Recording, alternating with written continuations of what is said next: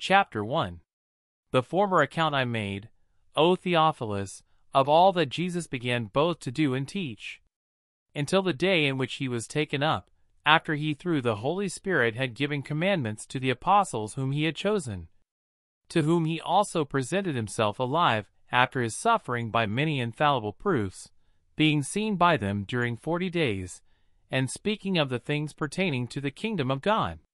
And being assembled together with them, he commanded them not to depart from Jerusalem, but to wait for the promise of the Father, which, he said, you have heard from me. For John truly baptized with water, but you shall be baptized with the Holy Spirit not many days from now. Therefore, when they had come together, they asked him, saying, Lord, will you at this time restore the kingdom to Israel?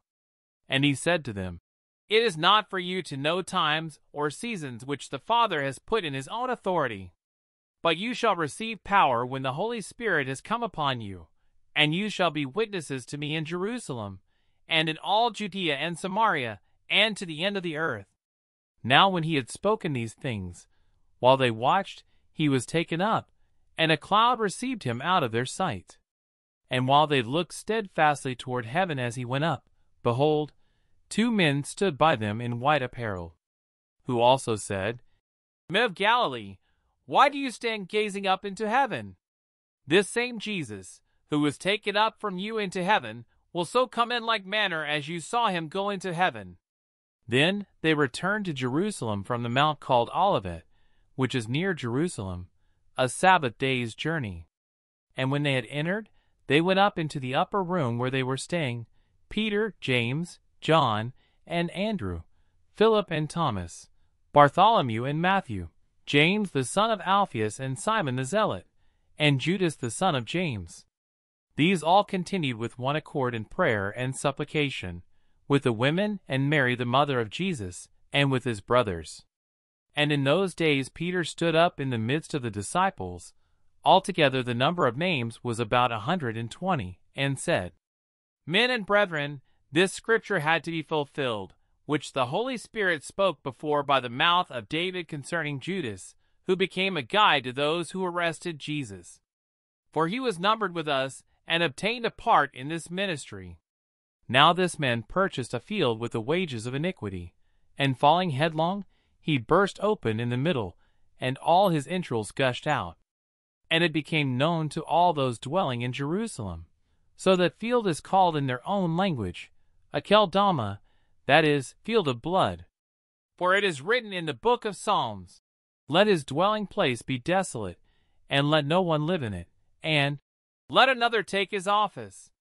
Therefore, of these men who have accompanied us all the time that the Lord Jesus went in and out among us, beginning from the baptism of John to that day when he was taken up from us, one of these must become a witness with us of his resurrection. And they proposed two Joseph called Barsabas, who was surnamed Justus, and Matthias.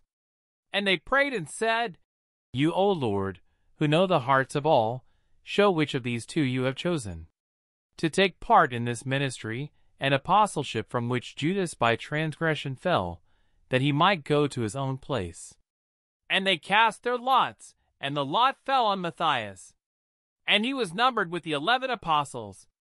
Chapter 2 When the day of Pentecost had fully come, they were all with one accord in one place. And suddenly there came a sound from heaven, as of a rushing mighty wind, and it filled the whole house where they were sitting. Then there appeared to them divided tongues, as of fire, and one sat upon each of them. And they were all filled with the Holy Spirit, and began to speak with other tongues, as the Spirit gave them utterance. And there were dwelling in Jerusalem Jews, devout men, from every nation under heaven. And when this sound occurred, the multitude came together, and were confused, because everyone heard them speak in his own language. Then they were all amazed and marveled, saying to one another, Look, are not all these who speak Galileans? And how is it that we hear, each in our own language in which we were born?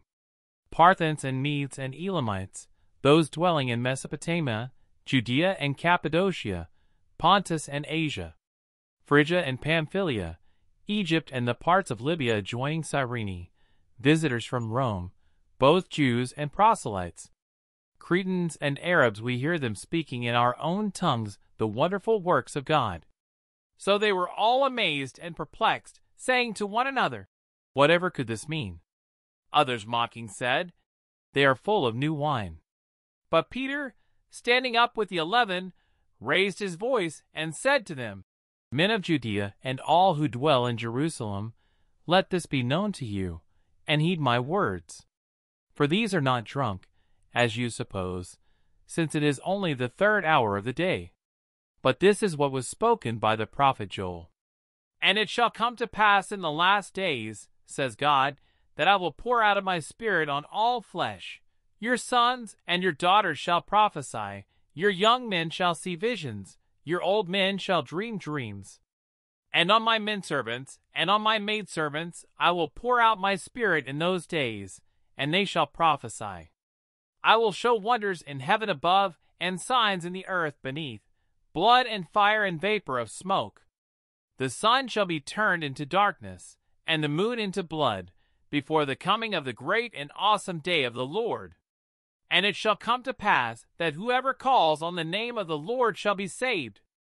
Men of Israel, hear these words Jesus of Nazareth, a man attested by God to you by miracles, wonders, and signs which God did through him in your midst, as you yourselves also know him, being delivered by the determined purpose and foreknowledge of God, you have taken by lawless hands, have crucified, and put to death, whom God raised up, having loosed the pains of death, because it was not possible that he should be held by it.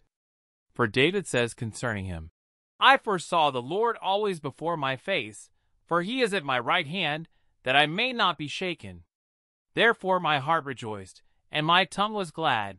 Moreover, my flesh also will rest in hope. For you will not leave my soul in Hades, nor will you allow your Holy One to see corruption. You have made known to me the ways of life. You will make me full of joy in your presence.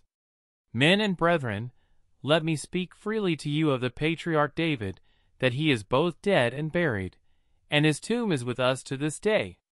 Therefore, being a prophet, and knowing that God had sworn with an oath to him that of the fruit of his body, according to the flesh, he would raise up the Christ to sit on his throne. He, foreseeing this, spoke concerning the resurrection of the Christ, that his soul was not left in Hades, nor did his flesh see corruption. This Jesus God is raised up, of which we are all witnesses. Therefore, being exalted to the right hand of God, and having received from the Father the promise of the Holy Spirit, he poured out this which you now see and hear. For David did not ascend into the heavens, but he says himself, The Lord said to my Lord, Sit at my right hand, till I make your enemies your footstool. Therefore let all the house of Israel know assuredly that God has made this Jesus, whom you crucified, both Lord and Christ. Now when they heard this, they were cut to the heart, and said to Peter and the rest of the apostles, Men and brethren, what shall we do? Then Peter said to them, Repent, and let every one of you be baptized in the name of Jesus Christ for the remission of sins, and you shall receive the gift of the Holy Spirit. For the promise is to you and to your children, and to all who are afar off, as many as the Lord our God will call. And with many other words he testified and exhorted them, saying, Be saved from this perverse generation. Then those who gladly received his word were baptized, and that day about three thousand souls were added to them. And they continued steadfastly in the apostles' doctrine and fellowship, in the breaking of bread, and in prayers. Then fear came upon every soul, and many wonders and signs were done through the apostles. Now all who believed were together, and had all things in common, and sold their possessions and goods, and divided them among all as anyone had need. So continuing daily with one accord in the temple, and breaking bread from house to house, they ate their food with gladness and simplicity of heart, praising God and having favor with all the people. And the Lord added to the church daily those who were being saved. Chapter 3 Now Peter and John went up together to the temple at the hour of prayer, the ninth hour. And a certain man lame from his mother's womb was carried, whom they laid daily at the gate of the temple, which is called Beautiful, to ask alms from those who entered the temple. Who, seeing Peter and John about to go into the temple, asked for alms. And fixing his eyes on him, with John, Peter said, Look at us. So he gave them his attention, expecting to receive something from them. Then Peter said, Silver and gold I do not have, but what I do have I give you. In the name of Jesus Christ of Nazareth, rise up and walk. And he took him by the right hand and lifted him up, and immediately his feet and ankle bones received strength. So he, leaping up, stood and walked and entered the temple with them walking, leaping and praising God. And all the people saw him walking and praising God. Then they knew that it was he who sat begging alms at the beautiful gate of the temple, and they were filled with wonder and amazement at what had happened to him.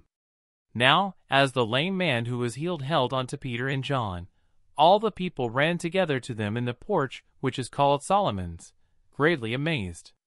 So when Peter saw it, he responded to the people, Men of Israel, why do you marvel at this? Or why look so intently at us, as though by our own power or godliness we had made this man walk? The God of Abraham, Isaac, and Jacob, the God of our fathers, glorified his servant Jesus, whom you delivered up and denied in the presence of Pilate when he was determined to let him go.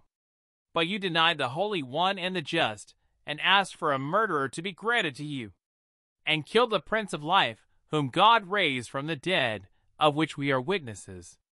And his name, through faith in his name, has made this man strong, whom you see and know. Yes, the faith which comes through him has given him this perfect soundness in the presence of you all. Yet now, brethren, I know that you did it in ignorance, as did also your rulers. But those things which God foretold by the mouth of all his prophets, that the Christ would suffer, he has thus fulfilled.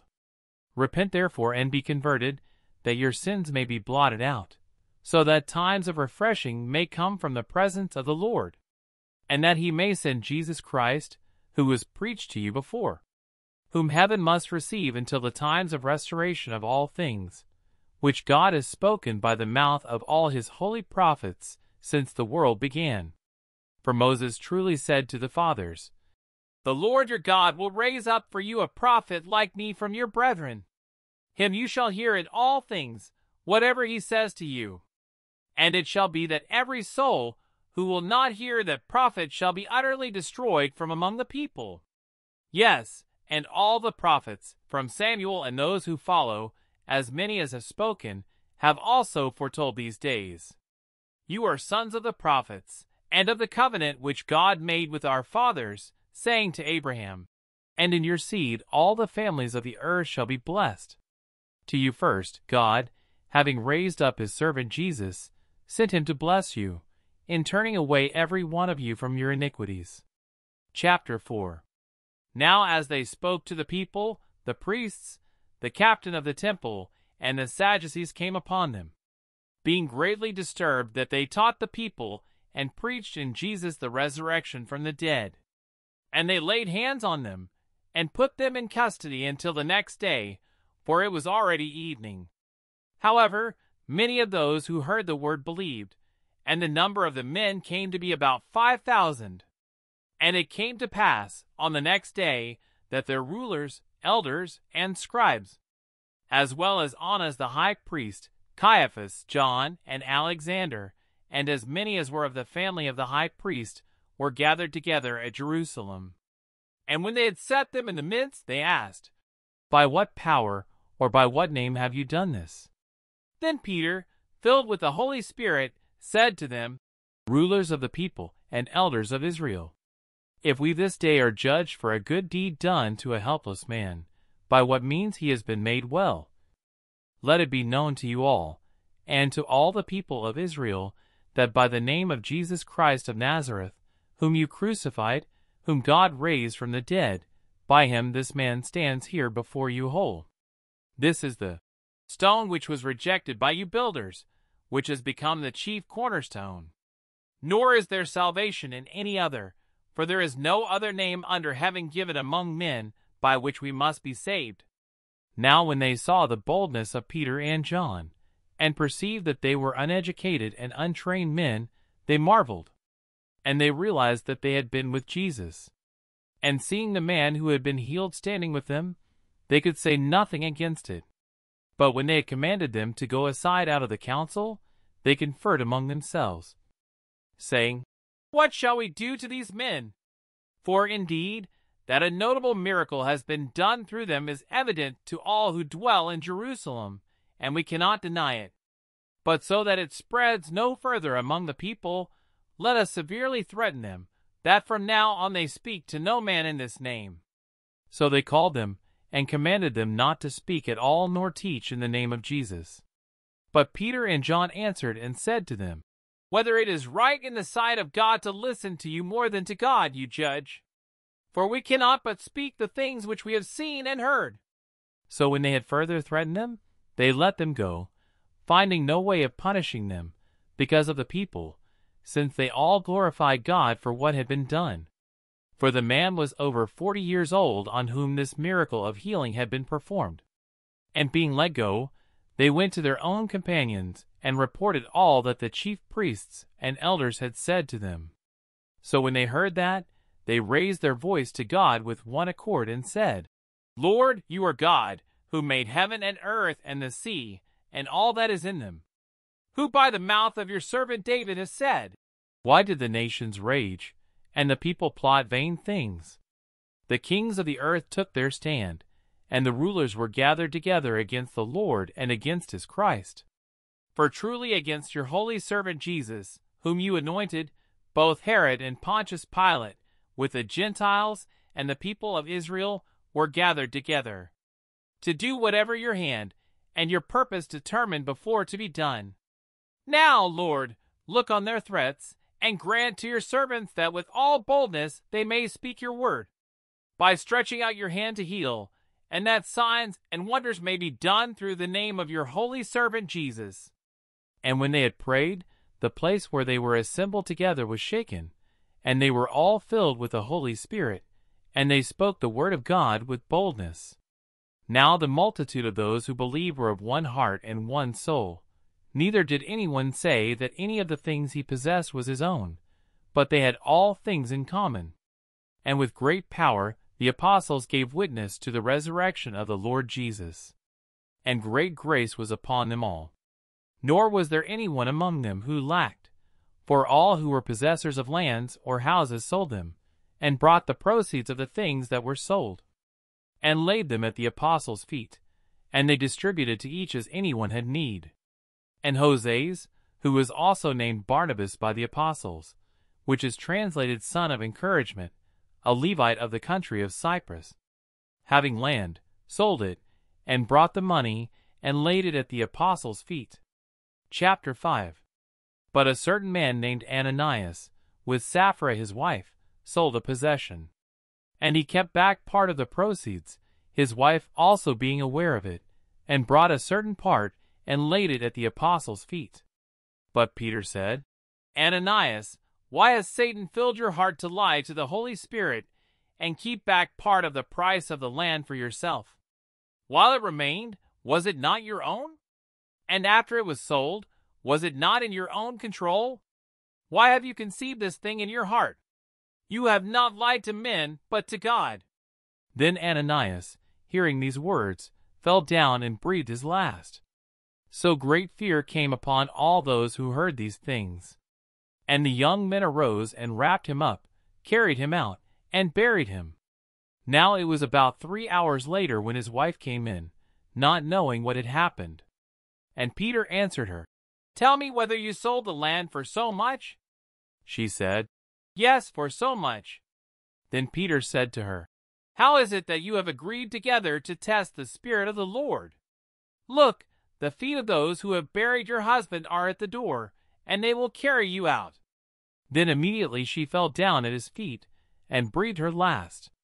And the young men came in and found her dead, and carrying her out, buried her by her husband.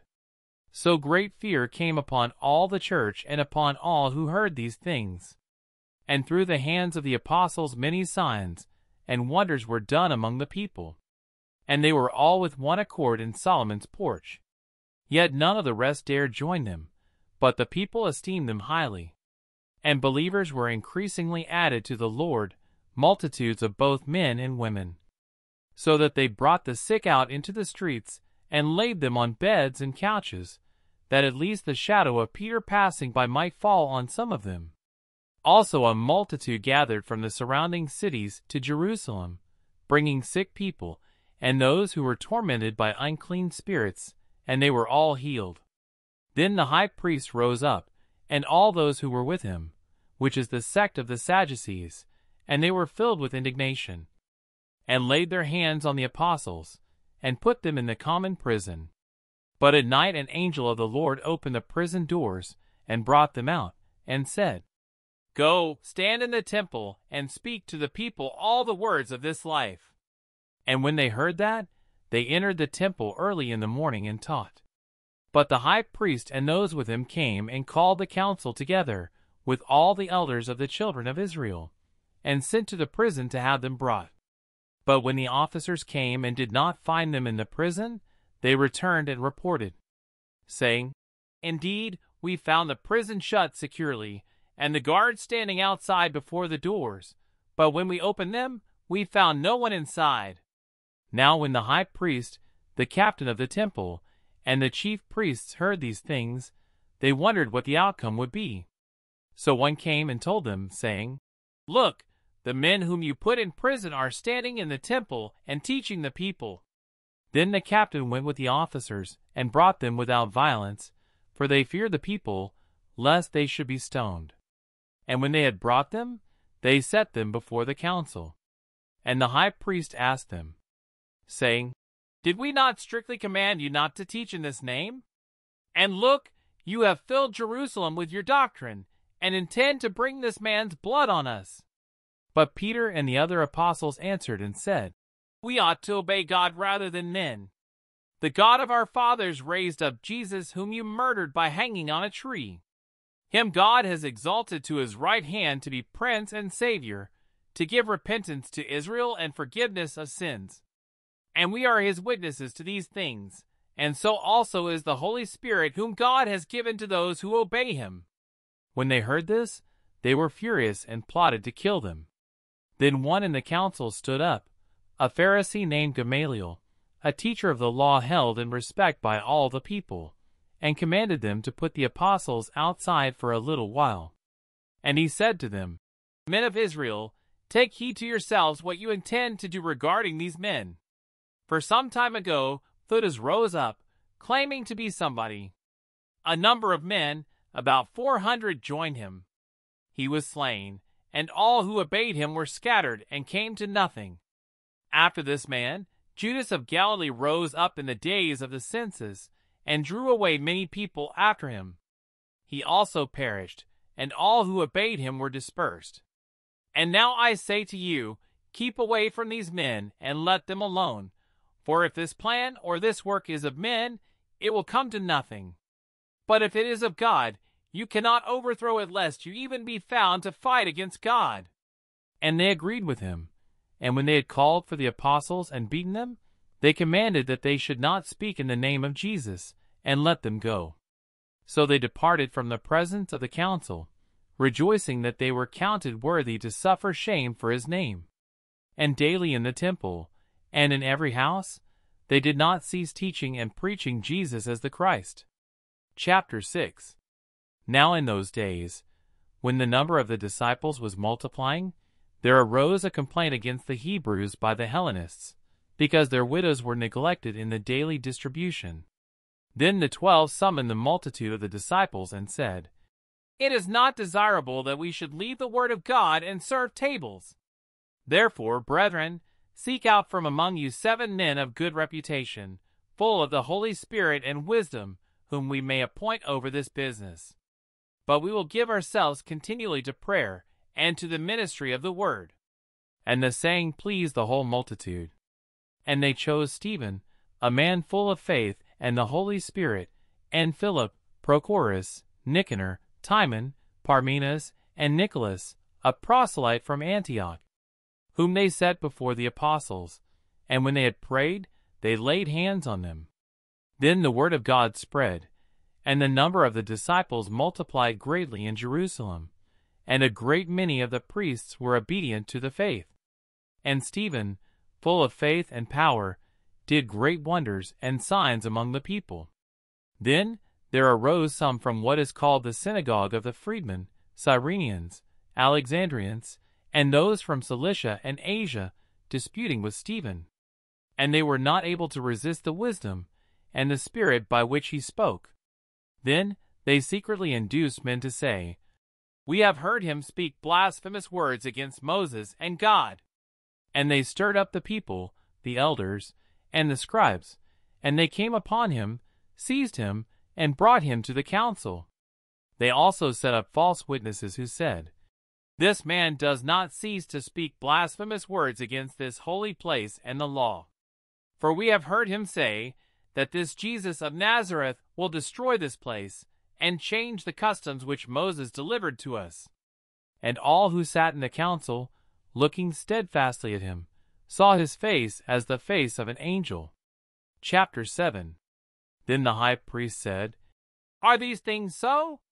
And he said, Brethren and fathers, listen. The God of glory appeared to our father Abraham when he was in Mesopotamia, before he dwelt in Haran, and said to him, Get out of your country and from your relatives, and come to a land that I will show you. Then he came out of the land of the Chaldeans and dwelt in Haran. And from there, when his father was dead, he moved him to this land in which you now dwell. And God gave him no inheritance in it, not even enough to set his foot on. But even when Abraham had no child, he promised to give it to him for a possession, and to his descendants after him. But God spoke in this way, that his descendants would dwell in a foreign land, and that they would bring them into bondage, and oppress them four hundred years. And the nation to whom they will be in bondage I will judge, said God, and after that they shall come out and serve me in this place. Then he gave him the covenant of circumcision. And so Abraham begot Isaac and circumcised him on the eighth day. And Isaac begot Jacob, and Jacob begot the twelve patriarchs. And the patriarchs, becoming envious, sold Joseph into Egypt. But God was with him, and delivered him out of all his troubles, and gave him favor and wisdom in the presence of Pharaoh, king of Egypt, and he made him governor over Egypt and all his house. Now a famine and great trouble came over all the land of Egypt and Canaan, and our fathers found no sustenance. But when Jacob heard that there was grain in Egypt, he sent out our fathers first. And the second time Joseph was made known to his brothers, and Joseph's family became known to the Pharaoh. Then Joseph sent and called his father Jacob and all his relatives to him, seventy five people. So Jacob went down to Egypt, and he died, he and our fathers. And they were carried back to Shechem and laid in the tomb that Abraham bought for a sum of money from the sons of Hamor, the father of Shechem. But when the time of the promise drew near which God had sworn to Abraham, the people grew and multiplied in Egypt, till another king arose who did not know Joseph. This man dealt treacherously with our people, and oppressed our forefathers, making them expose their babies, so that they might not live. At this time Moses was born, and was well pleasing to God, and he was brought up in his father's house for three months. But when he was set out, Pharaoh's daughter took him away, and brought him up as her own son. And Moses was learned in all the wisdom of the Egyptians, and was mighty in words and deeds. Now when he was forty years old, it came into his heart to visit his brethren, the children of Israel. And seeing one of them suffer wrong, he defended and avenged him who was oppressed, and struck down the Egyptian. For he supposed that his brethren would have understood that God would deliver them by his hand, but they did not understand. And the next day he appeared to two of them as they were fighting, and tried to reconcile them, saying, Men, you are brethren. Why do you wrong one another? But he who did his neighbor wrong pushed him away, saying, Who made you a ruler and a judge over us? Do you want to kill me as you did the Egyptian yesterday? Then, at this saying, Moses fled and became a dweller in the land of Midian, where he had two sons. And when forty years had passed, an angel of the Lord appeared to him in a flame of fire in a bush, in the wilderness of Mount Sinai. When Moses saw it, he marveled at the sight, and as he drew near to observe, the voice of the Lord came to him, saying, I am the God of your fathers, the God of Abraham, the God of Isaac, and the God of Jacob. And Moses trembled and dared not look. Then the Lord said to him, Take your sandals off your feet, for the place where you stand is holy ground. I have surely seen the oppression of my people who are in Egypt. I have heard their groaning, and have come down to deliver them. And now come, I will send you to Egypt. This Moses whom they rejected, saying, who made you a ruler and a judge, is the one God sent to be a ruler and a deliverer by the hand of the angel who appeared to him in the bush. He brought them out after he had shown wonders and signs in the land of Egypt, and in the Red Sea, and in the wilderness forty years. This is that Moses who said to the children of Israel, The Lord your God will raise up for you a prophet like me from your brethren. Him you shall hear. This is he who was in the congregation in the wilderness with the angel who spoke to him on Mount Sinai, and with our fathers, the one who received the living oracles to give to us, whom our fathers would not obey, but rejected. And in their hearts they turned back to Egypt, saying to Aaron, Make us gods to go before us. As for this Moses who brought us out of the land of Egypt, we do not know what has become of him. And they made a calf in those days, offered sacrifices to the idol, and rejoiced in the works of their own hands. Then God turned and gave them up to worship the host of heaven, as it is written in the book of the prophets. Did you offer me slaughtered animals and sacrifices during forty years in the wilderness, O house of Israel? You also took up the tabernacle of Moloch, and the star of your god Rephan, images which you made to worship, and I will carry you away beyond Babylon.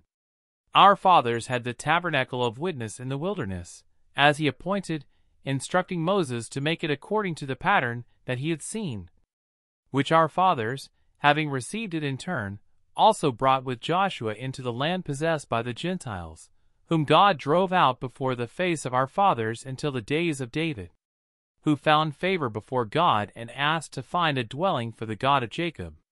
But Solomon built him a house. However, the Most High does not dwell in temples made with hands, as the prophet says, Heaven is my throne, and earth is my footstool. What house will you build for me? Says the Lord, or what is the place of my rest? Has my hand not made all these things? You stiff-necked and uncircumcised in heart and ears. You always resist the Holy Spirit, as your fathers did, so do you. Which of the prophets did your fathers not persecute? And they killed those who foretold the coming of the just one, of whom you now have become the betrayers and murderers, who have received the law by the direction of angels, and have not kept it. When they heard these things, they were cut to the heart, and they gnashed at him with their teeth. But he, being full of the Holy Spirit, gazed into heaven, and saw the glory of God, and Jesus standing at the right hand of God, and said, Look, I see the heavens opened, and the Son of Man standing at the right hand of God. Then they cried out with a loud voice, stopped their ears, and ran at him with one accord. And they cast him out of the city and stoned him. And the witnesses laid down their clothes at the feet of a young man named Saul. And they stoned Stephen as he was calling on God and saying, Lord Jesus, receive my spirit. Then he knelt down and cried out with a loud voice, Lord, do not charge them with this sin. And when he had said this, he fell asleep. Chapter 8 Now Saul was consenting to his death. At that time a great persecution arose against the church which was at Jerusalem, and they were all scattered throughout the regions of Judea and Samaria, except the apostles. And devout men carried Stephen to his burial, and made great lamentation over him. As for Saul, he made havoc of the church, entering every house, and dragging off men and women, committing them to prison. Therefore those who were scattered went everywhere preaching the word. Then Philip went down to the city of Samaria and preached Christ to them. And the multitudes with one accord heeded the things spoken by Philip, hearing and seeing the miracles which he did. For unclean spirits, crying with a loud voice, came out of many who were possessed, and many who were paralyzed and lame were healed. And there was great joy in that city. But there was a certain man called Simon, who previously practiced sorcery in the city and astonished the people of Samaria, claiming that he was someone great, to whom they all gave heed, from the least to the greatest, saying, This man is the great power of God. And they heeded him, because he had astonished them with his sorceries for a long time. But when they believed Philip as he preached the things concerning the kingdom of God and the name of Jesus Christ, both men and women were baptized. Then Simon himself also believed, and when he was baptized, he continued with Philip, and was amazed, seeing the miracles and signs which were done. Now, when the apostles who were at Jerusalem heard that Samaria had received the word of God, they sent Peter and John to them, who, when they had come down, prayed for them that they might receive the Holy Spirit. For as yet he had fallen upon none of them. They had only been baptized in the name of the Lord Jesus. Then they laid hands on them, and they received the Holy Spirit. And when Simon saw that through the laying on of the apostles' hands the Holy Spirit was given, he offered them money, saying, Give me this power also, that anyone on whom I lay hands may receive the Holy Spirit. But Peter said to him, Your money perish with you, because you thought that the gift of God could be purchased with money. You have neither part nor portion in this matter for your heart is not right in the sight of God. Repent therefore of this your wickedness, and pray God if perhaps the thought of your heart may be forgiven you. For I see that you are poisoned by bitterness and bound by iniquity. Then Simon answered and said, Pray to the Lord for me, that none of the things which you have spoken may come upon me. So when they had testified and preached the word of the Lord, they returned to Jerusalem preaching the gospel in many villages of the Samaritans.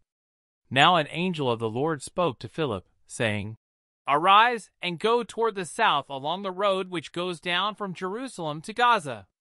This is desert. So he arose and went. And behold, a man of Ethiopia, a eunuch of great authority under Candace the queen of the Ethiopians, who had charge of all her treasury, and had come to Jerusalem to worship, was returning and sitting in his chariot, he was reading Isaiah the prophet. Then the Spirit said to Philip, Go near and overtake this chariot. So Philip ran to him and heard him reading the prophet Isaiah and said, Do you understand what you are reading? And he said, How can I unless someone guides me? And he asked Philip to come up and sit with him. The place in the scripture which he read was this He was led as a sheep to the slaughter and as a lamb before its shearer is silent, so he opened not his mouth.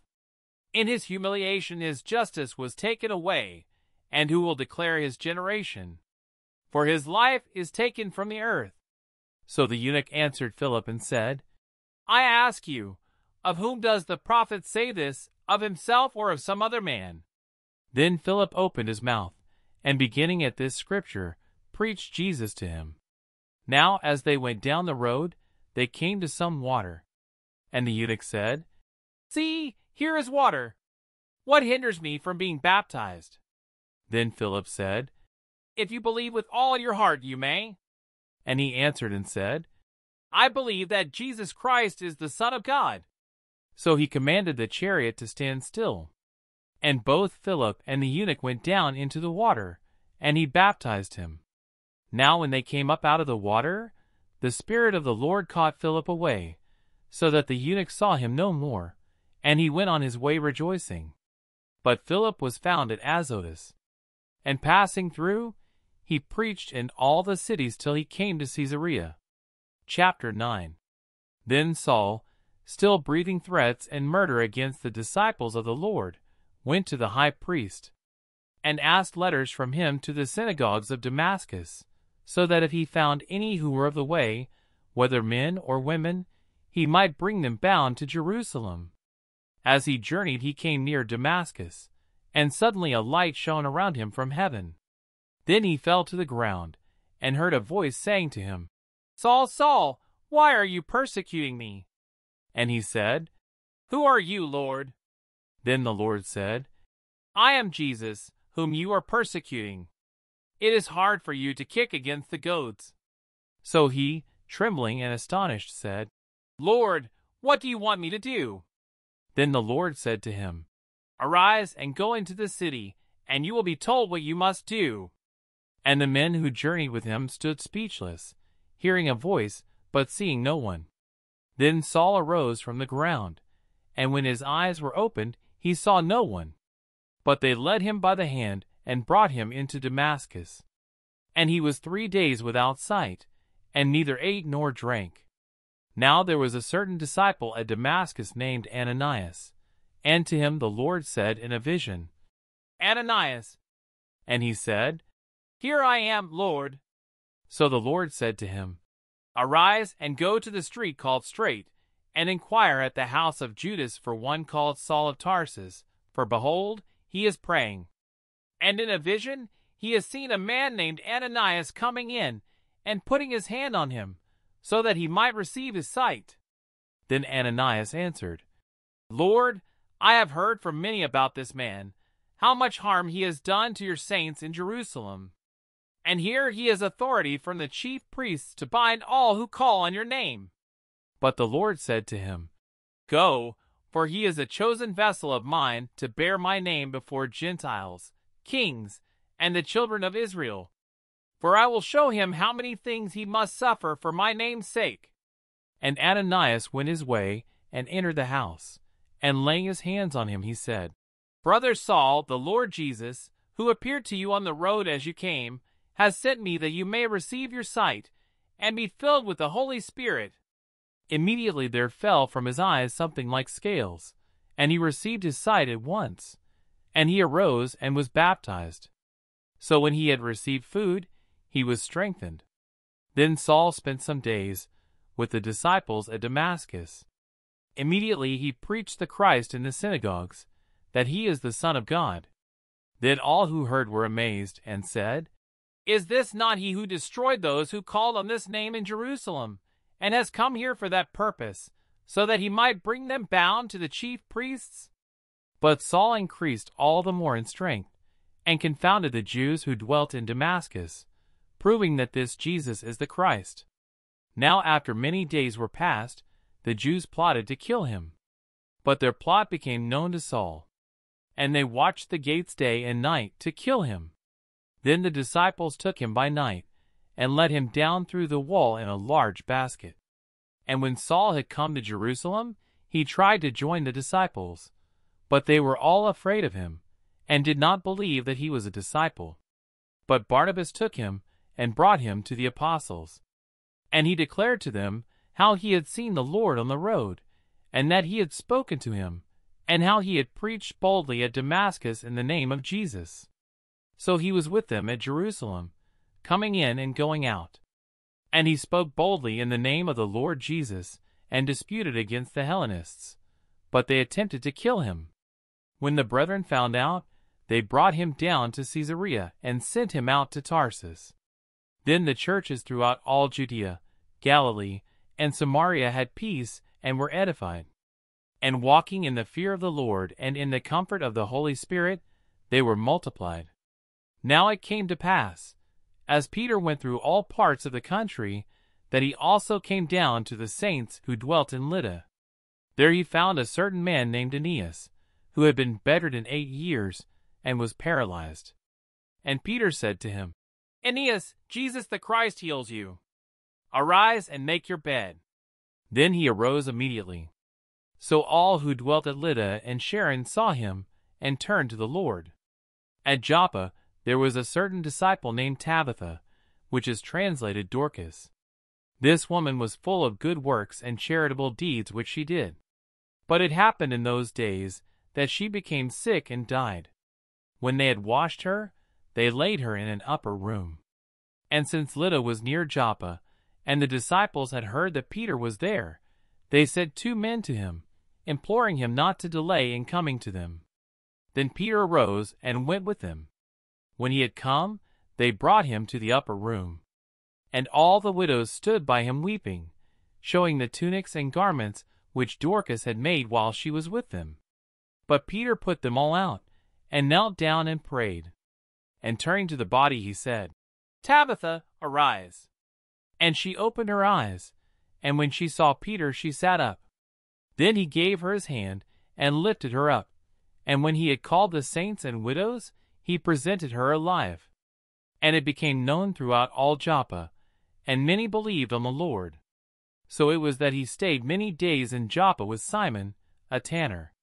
Chapter 10 There was a certain man in Caesarea called Cornelius, a centurion of what was called the Italian regiment, a devout man, and one who feared God with all his household, who gave alms generously to the people, and prayed to God always.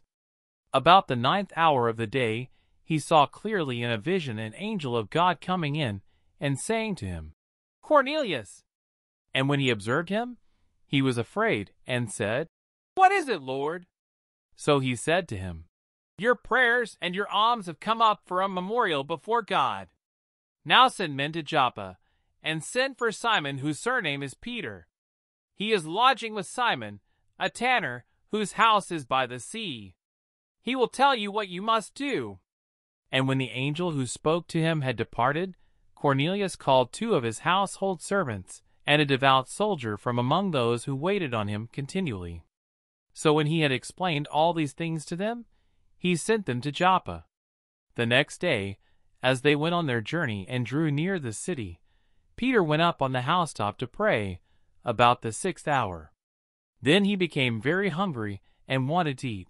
But while they made ready, he fell into a trance, and saw heaven opened and an object like a great sheet bound at the four corners, descending to him and let down to the earth. In it were all kinds of four-footed animals of the earth, wild beasts, creeping things, and birds of the air. And a voice came to him, Rise, Peter, kill and eat. But Peter said, Not so, Lord, for I have never eaten anything common or unclean. And a voice spoke to him again the second time, What God has cleansed you must not call common. This was done three times, and the object was taken up into heaven again. Now while Peter wondered within himself what this vision which he had seen meant, behold, the men who had been sent from Cornelius had made inquiry for Simon's house, and stood before the gate. And they called and asked whether Simon, whose surname was Peter, was lodging there. While Peter thought about the vision, the Spirit said to him, Behold, three men are seeking you. Arise therefore, go down and go with them, doubting nothing, for I have sent them. Then Peter went down to the men who had been sent to him from Cornelius, and said, Yes, I am he whom you seek. For what reason have you come? And they said, Cornelius the centurion, a just man, one who fears God and has a good reputation among all the nation of the Jews, was divinely instructed by a holy angel to summon you to his house, and to hear words from you. Then he invited them in and lodged them. On the next day Peter went away with them, and some brethren from Joppa accompanied him. And the following day they entered Caesarea. Now Cornelius was waiting for them, and had called together his relatives and close friends. As Peter was coming in, Cornelius met him, and fell down at his feet, and worshipped him. But Peter lifted him up, saying, Stand up, I myself am also a man. And as he talked with him, he went in, and found many who had come together. Then he said to them, You know how unlawful it is for a Jewish man to keep company with or go to one of another nation. But God has shown me that I should not call any man common or unclean. Therefore I came without objection as soon as I was sent for. I ask, then, for what reason have you sent for me? So Cornelius said, Four days ago I was fasting until this hour, and at the ninth hour I prayed in my house, and behold, a man stood before me in bright clothing, and said, Cornelius, your prayer has been heard and your alms are remembered in the sight of God. Send therefore to Joppa, and call Simon here, whose surname is Peter. He is lodging in the house of Simon, a tanner, by the sea. When he comes, he will speak to you. So I sent to you immediately, and you have done well to come. Now therefore, we are all present before God, to hear all the things commanded you by God. Then Peter opened his mouth and said, In truth I perceive that God shows no partiality. But in every nation whoever fears him and works righteousness is accepted by him. The word which God sent to the children of Israel, preaching peace through Jesus Christ, he is Lord of all that word you know, which was proclaimed throughout all Judea, and began from Galilee after the baptism which John preached. How God anointed Jesus of Nazareth with the Holy Spirit and with power, who went about doing good and healing all who were oppressed by the devil, for God was with him. And we are witnesses of all things which he did both in the land of the Jews and in Jerusalem, whom they killed by hanging on a tree. Him God raised up on the third day, and showed him openly, not to all the people, but to witnesses chosen before by God, even to us who ate and drank with him after he arose from the dead. And he commanded us to preach to the people, and to testify that it is he who is ordained by God to be judge of the living and the dead. To him all the prophets witness that, through his name, whoever believes in him will receive remission of sins. While Peter was still speaking these words, the Holy Spirit fell upon all those who heard the word. And those of the circumcision who believed were astonished, as many as came with Peter, because the gift of the Holy Spirit had been poured out on the Gentiles also for they heard them speak with tongues and magnify God. Then Peter answered, Can anyone forbid water, that these should not be baptized who have received the Holy Spirit just as we have? And he commanded them to be baptized in the name of the Lord. Then they asked him to stay a few days. Chapter 11 Now the apostles and brethren who were in Judea heard that the Gentiles had also received the word of God. And when Peter came up to Jerusalem, those of the circumcision contended with him, saying, You went in to uncircumcised men and ate with them. But Peter explained it to them in order from the beginning, saying, I was in the city of Joppa praying, and in a trance I saw a vision, an object descending like a great sheet, let down from heaven by four corners, and it came to me. When I observed it intently and considered, I saw four-footed animals of the earth, wild beasts, creeping things, and birds of the air. And I heard a voice saying to me, Rise, Peter, kill and eat. But I said, Not so, Lord, for nothing common or unclean has at any time entered my mouth. But the voice answered me again from heaven, What God has cleansed you must not call common. Now this was done three times, and all were drawn up again into heaven. At that very moment, three men stood before the house where I was, having been sent to me from Caesarea. Then the Spirit told me to go with them, doubting nothing. Moreover, these six brethren accompanied me, and we entered the man's house.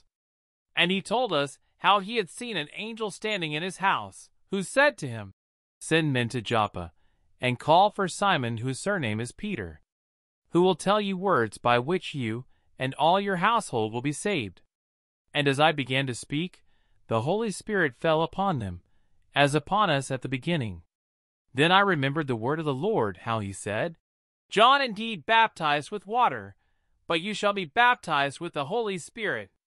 If therefore God gave them the same gift as he gave us when we believed on the Lord Jesus Christ, who was I that I could withstand God?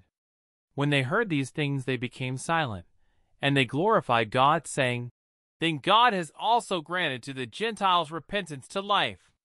Now those who were scattered after the persecution that arose over Stephen traveled as far as Phoenicia, Cyprus, and Antioch, preaching the word to no one but the Jews only.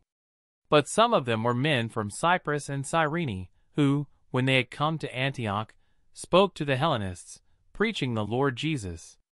And the hand of the Lord was with them, and a great number believed and turned to the Lord. Then news of these things came to the ears of the church in Jerusalem, and they sent out Barnabas to go as far as Antioch. When he came and had seen the grace of God, he was glad, and encouraged them all that with purpose of heart they should continue with the Lord. For he was a good man, full of the Holy Spirit and of faith. And a great many people were added to the Lord. Then Barnabas departed for Tarsus to seek Saul.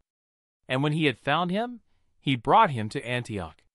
So it was that for a whole year they assembled with the church and taught a great many people. And the disciples were first called Christians in Antioch. And in these days prophets came from Jerusalem to Antioch. Then one of them, named Agabus, stood up and showed by the Spirit that there was going to be a great famine throughout all the world, which also happened in the days of Claudius Caesar. Then the disciples, each according to his ability, determined to send relief to the brethren dwelling in Judea. This they also did, and sent it to the elders by the hands of Barnabas and Saul. Chapter 12 Now about that time Herod the king stretched out his hand to harass some from the church. Then he killed James the brother of John with a sword. And because he saw that it pleased the Jews, he proceeded further to seize Peter also. Now it was during the days of unleavened bread. So when he had arrested him, he put him in prison, and delivered him to four squads of soldiers to keep him, intending to bring him before the people after Passover. Peter was therefore kept in prison, but constant prayer was offered to God for him by the church. And when Herod was about to bring him out, that night Peter was sleeping, bound with two chains between two soldiers, and the guards before the door were keeping the prison. Now behold, an angel of the Lord stood by him, and a light shone in the prison. And he struck Peter on the side and raised him up, saying, Arise quickly! and his chains fell off his hands. Then the angel said to him, Gird yourself and tie on your sandals. And so he did. And he said to him, Put on your garment and follow me. So he went out and followed him, and did not know that what was done by the angel was real, but thought he was seeing a vision. When they were past the first and the second guard posts, they came to the iron gate that leads to the city, which opened to them of its own accord and they went out, and went down one street, and immediately the angel departed from him. And when Peter had come to himself, he said, Now I know for certain that the Lord has sent his angel, and has delivered me from the hand of Herod and from all the expectation of the Jewish people. So, when he had considered this, he came to the house of Mary, the mother of John, whose surname was Mark, where many were gathered together praying. And as Peter knocked at the door of the gate, a girl named Rhoda came to answer. When she recognized Peter's voice, because of her gladness, she did not open the gate, but ran in and announced that Peter stood before the gate. But they said to her, You are beside yourself. Yet she kept insisting that it was so. So they said, It is his angel. Now Peter continued knocking, and when they opened the door and saw him, they were astonished. But motioning to them with his hand to keep silent, he declared to them how the Lord had brought him out of the prison. And he said, Go, tell these things to James and to the brethren. And he departed and went to another place. Then, as soon as it was day, there was no small stir among the soldiers about what had become of Peter. But when Herod had searched for him and not found him, he examined the guards and commanded that they should be put to death. And he went down from Judea to Caesarea, and stayed there. Now Herod had been very angry with the people of Tyre and Sidon, but they came to him with one accord, and having made Blastus the king's personal aide their friend, they asked for peace, because their country was supplied with food by the king's country. So on a set day Herod, arrayed in royal apparel, sat on his throne, and gave an oration to them. And the people kept shouting, The voice of a god and not of a man. Then immediately an angel of the Lord struck him, because he did not give glory to God. And he was eaten by worms and died. But the word of God grew and multiplied. And Barnabas and Saul returned from Jerusalem when they had fulfilled their ministry, and they also took with them John, whose surname was Mark. Chapter 13 now in the church that was at Antioch there were certain prophets and teachers Barnabas, Simeon, who was called Niger, Lucius of Cyrene, Manaen, who had been brought up with Herod the Tetrarch, and Saul. As they ministered to the Lord and fasted, the Holy Spirit said, Now separate to me Barnabas and Saul for the work to which I have called them. Then, having fasted and prayed, and laid hands on them, they sent them away. So, being sent out by the Holy Spirit, they went down to Seleucia, and from there they sailed to Cyprus. And when they arrived in Salamis, they preached the word of God in the synagogues of the Jews.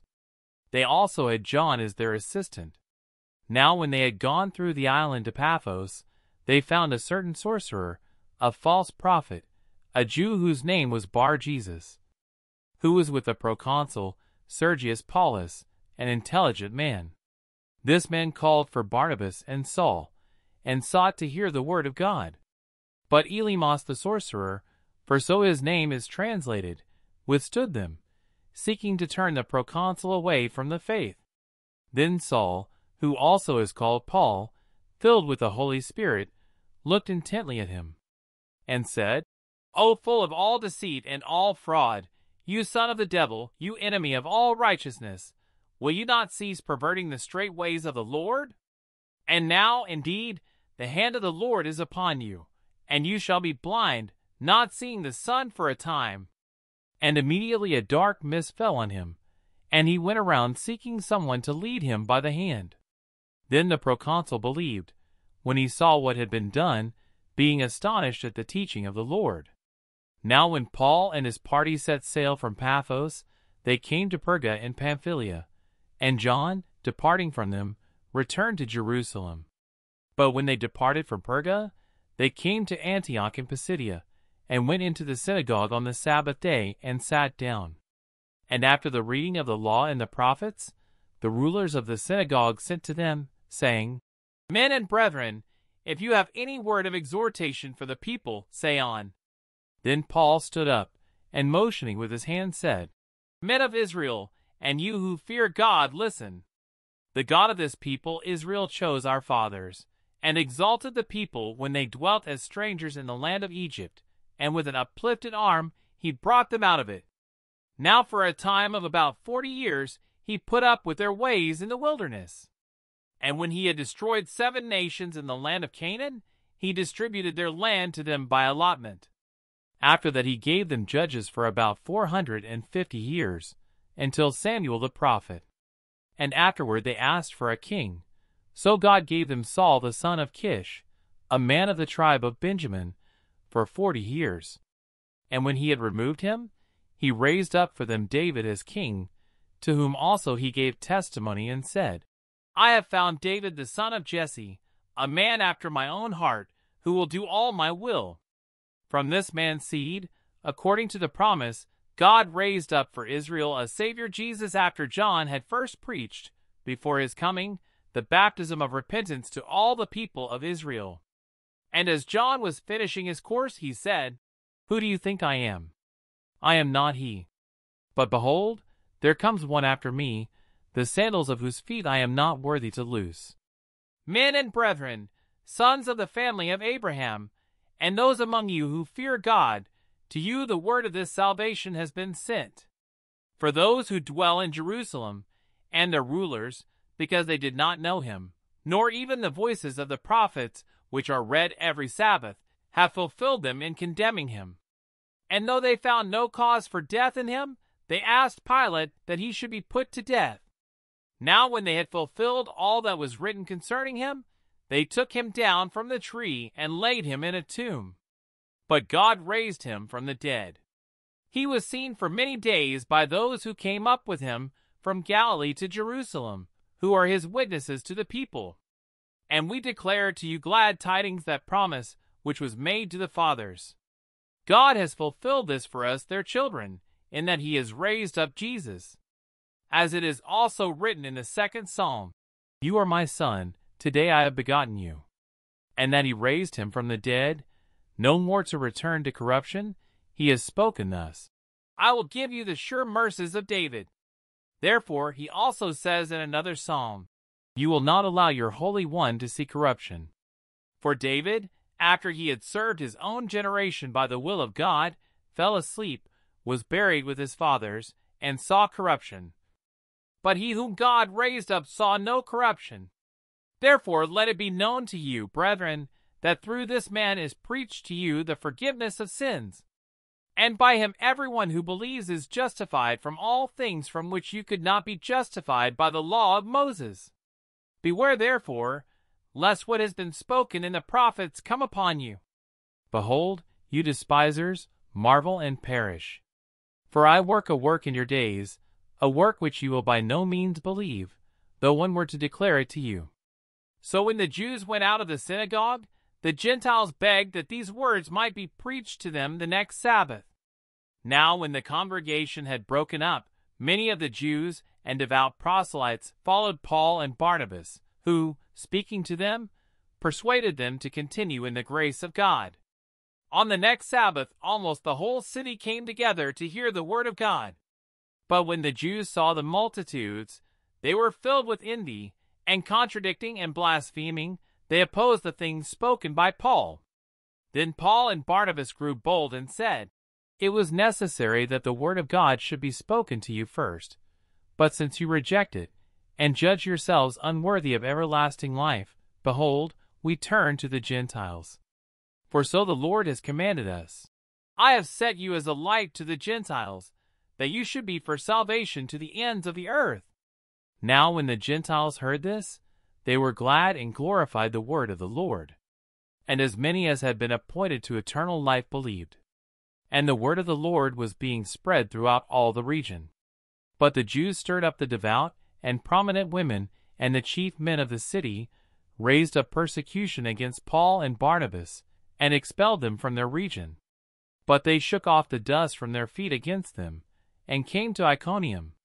And the disciples were filled with joy and with the Holy Spirit.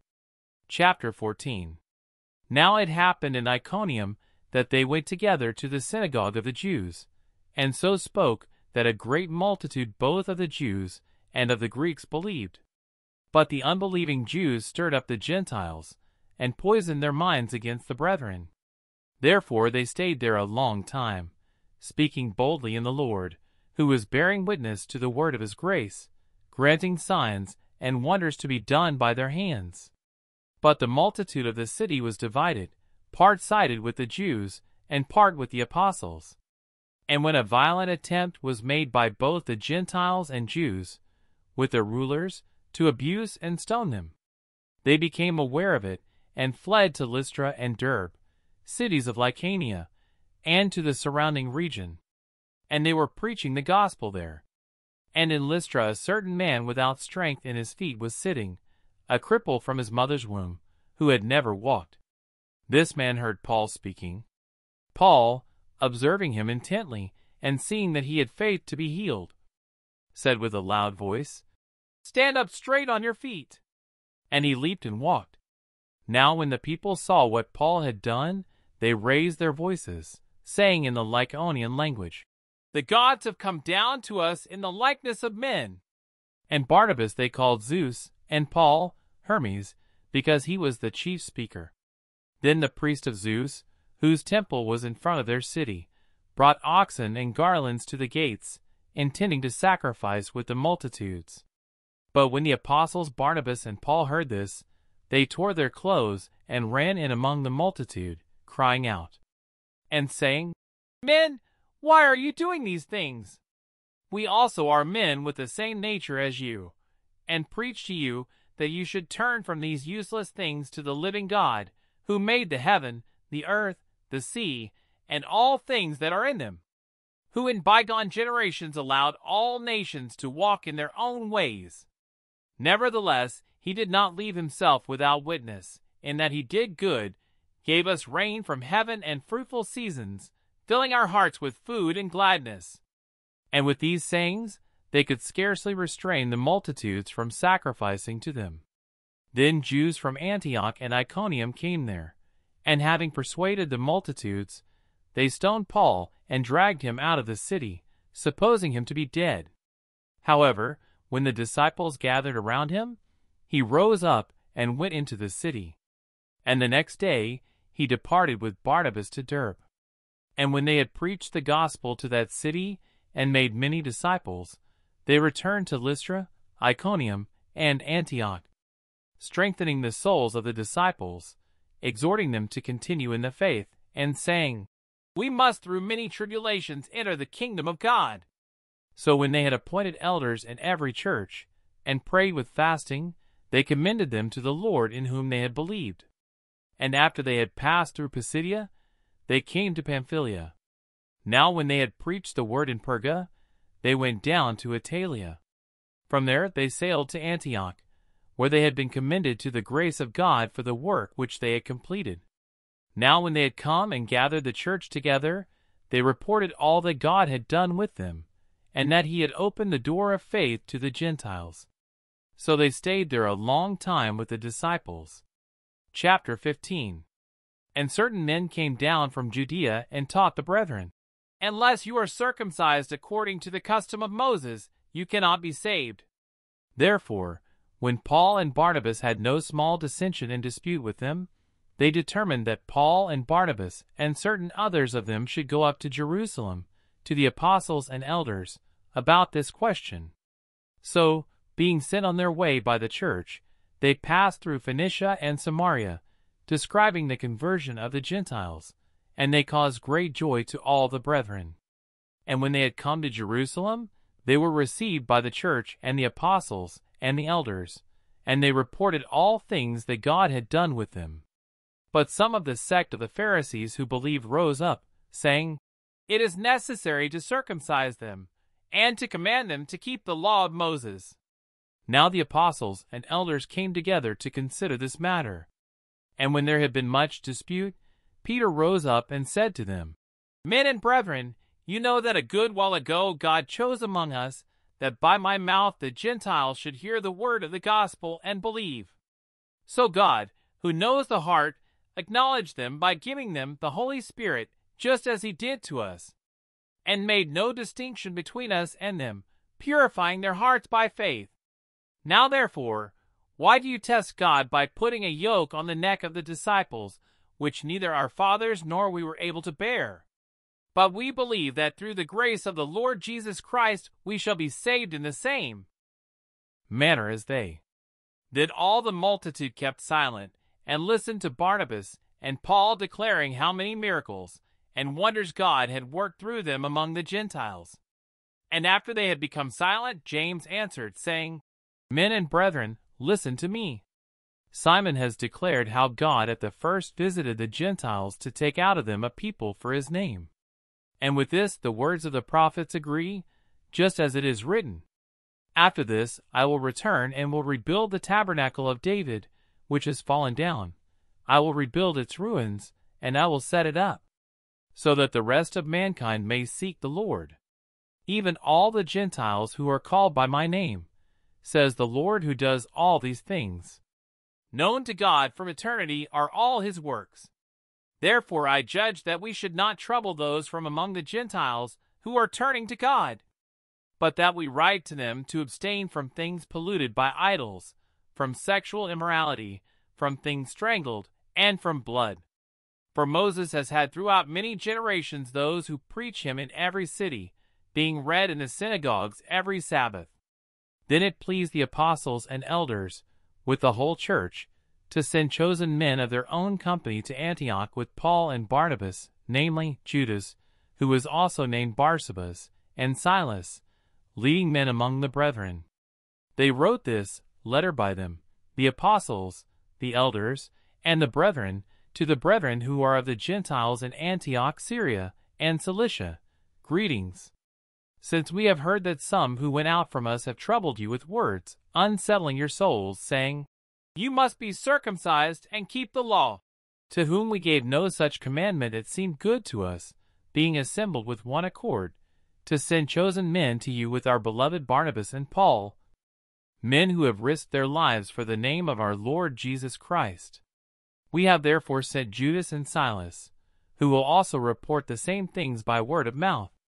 For it seemed good to the Holy Spirit and to us to lay upon you no greater burden than these necessary things that you abstain from things offered to idols, from blood, from things strangled, and from sexual immorality. If you keep yourselves from these, you will do well. Farewell. So when they were sent off, they came to Antioch, and when they had gathered the multitude together, they delivered the letter.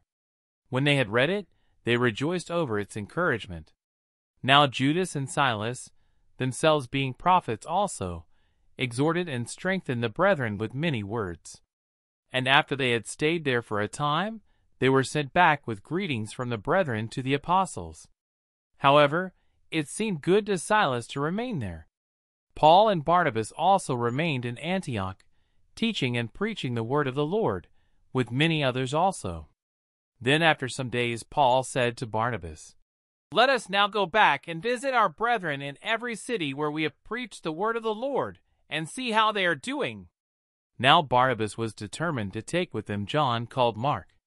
But Paul insisted that they should not take with them the one who had departed from them in Pamphylia, and had not gone with them to the work. Then the contention became so sharp that they parted from one another. And so Barnabas took Mark and sailed to Cyprus. But Paul chose Silas and departed, being commended by the brethren to the grace of God. And he went through Syria and Cilicia, strengthening the churches. Chapter 16 Then he came to Derbe and Lystra. And behold, a certain disciple was there, named Timothy, the son of a certain Jewish woman who believed, but his father was Greek. He was well spoken of by the brethren, who were at Lystra and Iconium. Paul wanted to have him go on with him.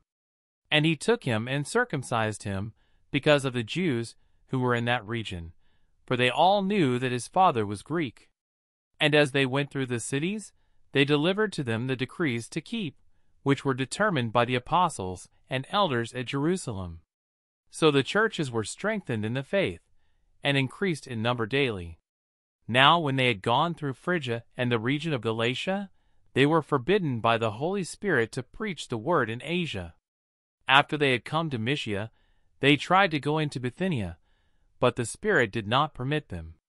So passing by Mysia, they came down to Troas. And a vision appeared to Paul in the night.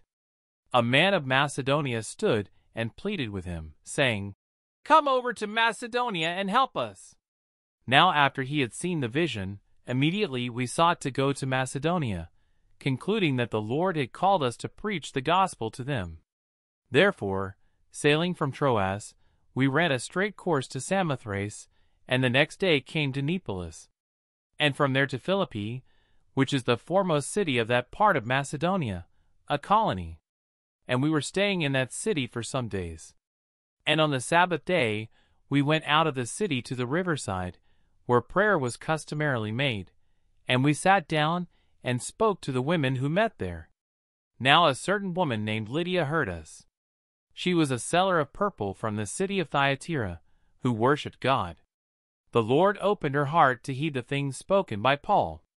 And when she and her household were baptized, she begged us, saying, If you have judged me to be faithful to the Lord, come to my house and stay. So she persuaded us. Now it happened, as we went to prayer, that a certain slave girl possessed with a spirit of divination us, who brought her masters much profit by fortune telling. This girl followed Paul and us, and cried out, saying, These men are the servants of the Most High God, who proclaim to us the way of salvation. And this she did for many days. But Paul, greatly annoyed, turned and said to the Spirit, I command you in the name of Jesus Christ to come out of her. And he came out that very hour.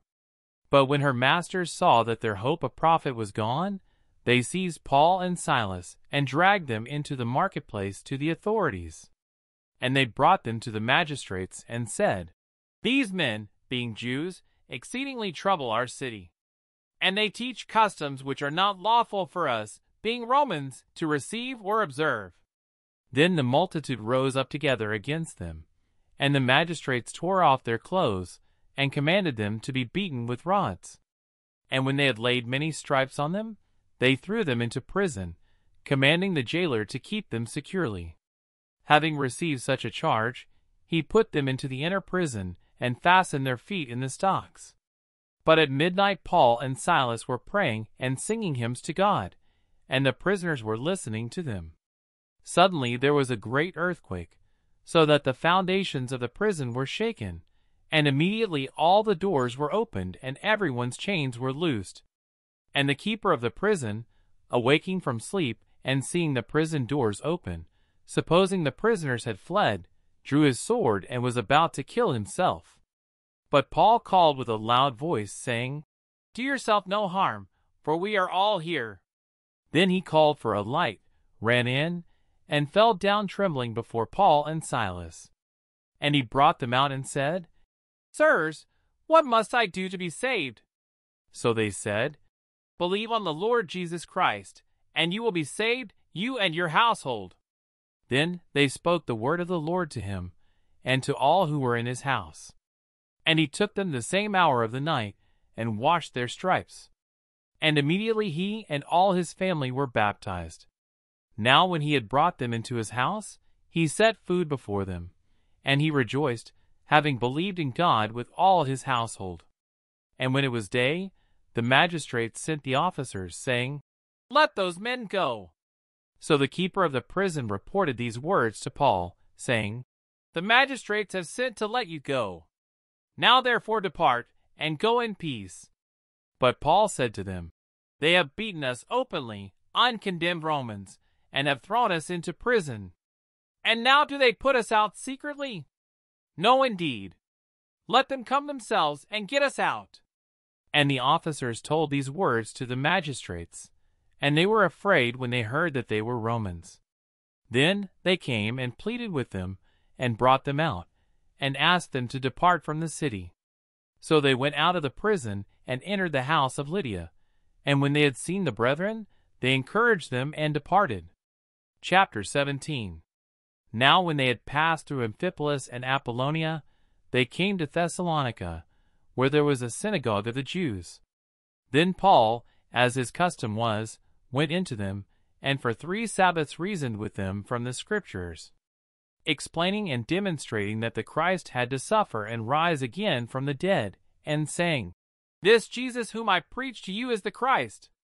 And some of them were persuaded and a great multitude of the devout Greeks, and not a few of the leading women joined Paul and Silas.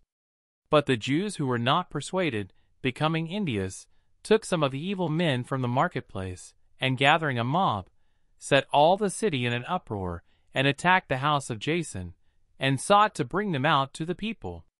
But when they did not find them, they dragged Jason and some brethren to the rulers of the city, crying out, these who have turned the world upside down have come here too.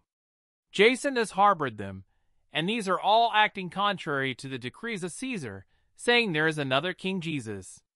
And they troubled the crowd and the rulers of the city when they heard these things. So when they had taken security from Jason and the rest, they let them go. Then the brethren immediately sent Paul and Silas away by night to Berea. When they arrived, they went into the synagogue of the Jews. These were more fair minded than those in Thessalonica, in that they received the word with all readiness, and searched the Scriptures daily to find out whether these things were so. Therefore many of them believed, and also not a few of the Greeks, prominent women as well as men. But when the Jews from Thessalonica learned that the word of God was preached by Paul at Berea, they came there also, and stirred up the crowds. Then immediately the brethren sent Paul away to go to the sea, but both Silas and Timothy remained there. So those who conducted Paul brought him to Athens, and receiving a command for Silas and Timothy to come to him with all speed, they departed. Now while Paul waited for them at Athens, his spirit was provoked within him when he saw that the city was given over to idols. Therefore he reasoned in the synagogue with the Jews, and with the Gentile worshippers, and in the marketplace daily with those who happened to be there. Then certain Epicurean and Stoic philosophers encountered him. And some said, What does this babbler want to say? Others said, He seems to be a proclaimer of foreign gods, because he preached to them Jesus and the resurrection. And they took him and brought him to the Areopagus, saying, May we know what this new doctrine is of which you speak? For you are bringing some strange things to our ears. Therefore, we want to know what these things mean. For all the Athenians and the foreigners who were there spent their time in nothing else but either to tell or to hear some new thing. Then Paul stood in the midst of the Areopagus and said, Men of Athens, I perceive that in all things you are very religious. For as I was passing through and considering the objects of your worship, I even found an altar with this inscription, To the unknown God. Therefore, the one whom you worship without knowing him I proclaim to you. God, who made the world and everything in it, since he is Lord of heaven and earth, does not dwell in temples made with hands. Nor is he worshipped with men's hands, as though he needed anything, since he gives to all life, breath, and all things. And he has made from one blood every nation of men to dwell on all the face of the earth, and has determined their pre-appointed times and the boundaries of their dwellings, so that they should seek the Lord in the hope that they might grope for him and find him, though he is not far from each one of us. For in him we live and move and have our being, as also some of your own poets have said, for we are also his offspring. Therefore, since we are the offspring of God, we ought not to think that the divine nature is like gold or silver or stone, something shaped by art and man's devising. Truly, these times of ignorance God overlooked, but now commands all men everywhere to repent. Because he has appointed a day on which he will judge the world in righteousness by the man whom he has ordained. He has given assurance of this to all by raising him from the dead.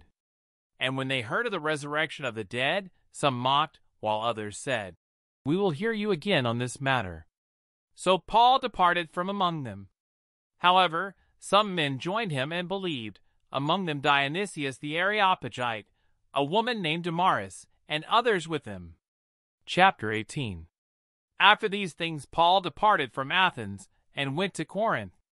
And he found a certain Jew named Aquila, born in Pontus, who had recently come from Italy with his wife Priscilla, because Claudius had commanded all the Jews to depart from Rome, and he came to them. So, because he was of the same trade, he stayed with them and worked, for by occupation they were tent makers. And he reasoned in the synagogue every Sabbath, and persuaded both Jews and Greeks. When Silas and Timothy had come from Macedonia, Paul was compelled by the Spirit, and testified to the Jews that Jesus is the Christ. But when they opposed him and blasphemed, he shook his garments and said to them, Your blood be upon your own heads. I am clean. From now on I will go to the Gentiles. And he departed from there, and entered the house of a certain man named Justus, one who worshipped God, whose house was next door to the synagogue. Then Crispus, the ruler of the synagogue, believed on the Lord with all his household. And many of the Corinthians, hearing, believed and were baptized. Now the Lord spoke to Paul in the night by a vision. Do not be afraid, but speak, and do not keep silent. For I am with you, and no one will attack you to hurt you, for I have many people in this city. And he continued there a year and six months, teaching the word of God among them. When Gallio was proconsul of Achaia, the Jews with one accord rose up against Paul and brought him to the judgment seat, saying, This fellow persuades men to worship God contrary to the law. And when Paul was about to open his mouth, Gallio said to the Jews, If it were a matter of wrongdoing or wicked crimes, O Jews, there would be reason why I should bear with you. But if it is a question of words and names and your own law, look to it yourselves for I do not want to be a judge of such matters. And he drove them from the judgment seat. Then all the Greeks took Sosthenes, the ruler of the synagogue, and beat him before the judgment seat. But Gallio took no notice of these things. So Paul still remained a good while. Then he took leave of the brethren and sailed for Syria, and Priscilla and Aquila were with him. He had his hair cut off at Cenchrea, for he had taken a vow. And he came to Ephesus and left them there. But he himself entered the synagogue and reasoned with the Jews. When they asked him to stay a longer time with them, he did not consent, but took leave of them, saying, I must by all means keep this coming feast in Jerusalem, but I will return again to you, God willing. And he sailed from Ephesus. And when he had landed at Caesarea, and gone up and greeted the church, he went down to Antioch. After he had spent some time there, he departed and went over the region of Galatia and Phrygia in order, strengthening all the disciples. Now a certain Jew named Apollos, born at Alexandria, an eloquent man and mighty in the Scriptures, came to Ephesus. This man had been instructed in the way of the Lord, and being fervent in spirit, he spoke and taught accurately the things of the Lord, though he knew only the baptism of John. So he began to speak boldly in the synagogue. When Aquila and Priscilla heard him, they took him aside and explained to him the way of God more accurately. And when he desired to cross to Achaia, the brethren wrote, exhorting the disciples to receive him. And when he arrived, he greatly helped those who had believed through grace. For he vigorously refuted the Jews publicly, showing from the Scriptures that Jesus is the Christ.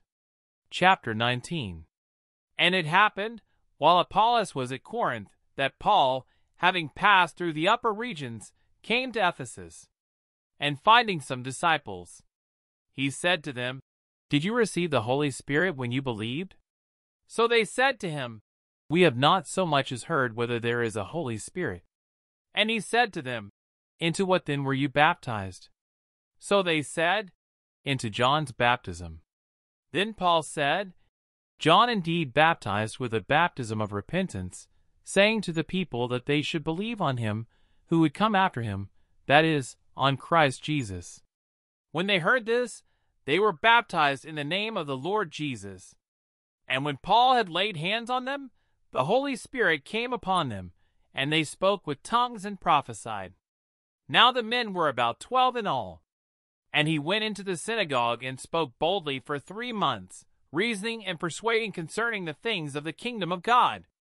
But when some were hardened and did not believe, but spoke evil of the way before the multitude, he departed from them and withdrew the disciples, reasoning daily in the school of Tyrannus. And this continued for two years, so that all who dwelt in Asia heard the word of the Lord Jesus, both Jews and Greeks. Now God worked unusual miracles by the hands of Paul, so that even handkerchiefs or aprons were brought from his body to the sick, and the diseases left them, and the evil spirits went out of them. Then some of the itinerant Jewish exorcists took it upon themselves to call the name of the Lord Jesus over those who had evil spirits, saying, We exorcise you by the Jesus whom Paul preaches. Also there were seven sons of Sceva, a Jewish chief priest, who did so. And the evil spirit answered and said, Jesus I know, and Paul the first know, but who are you? Then the man in whom the evil spirit was leaped on them, overpowered them, and prevailed against them, so that they fled out of that house naked and wounded. This became known both to all Jews and Greeks dwelling at Ephesus, and fear fell on them all, and the name of the Lord Jesus was magnified. And many who had believed came confessing and telling their deeds. Also, many of those who had practiced magic brought their books together and burned them in the sight of all. And they counted up the value of them, and it totaled fifty thousand pieces of silver. So the word of the Lord grew mightily and prevailed.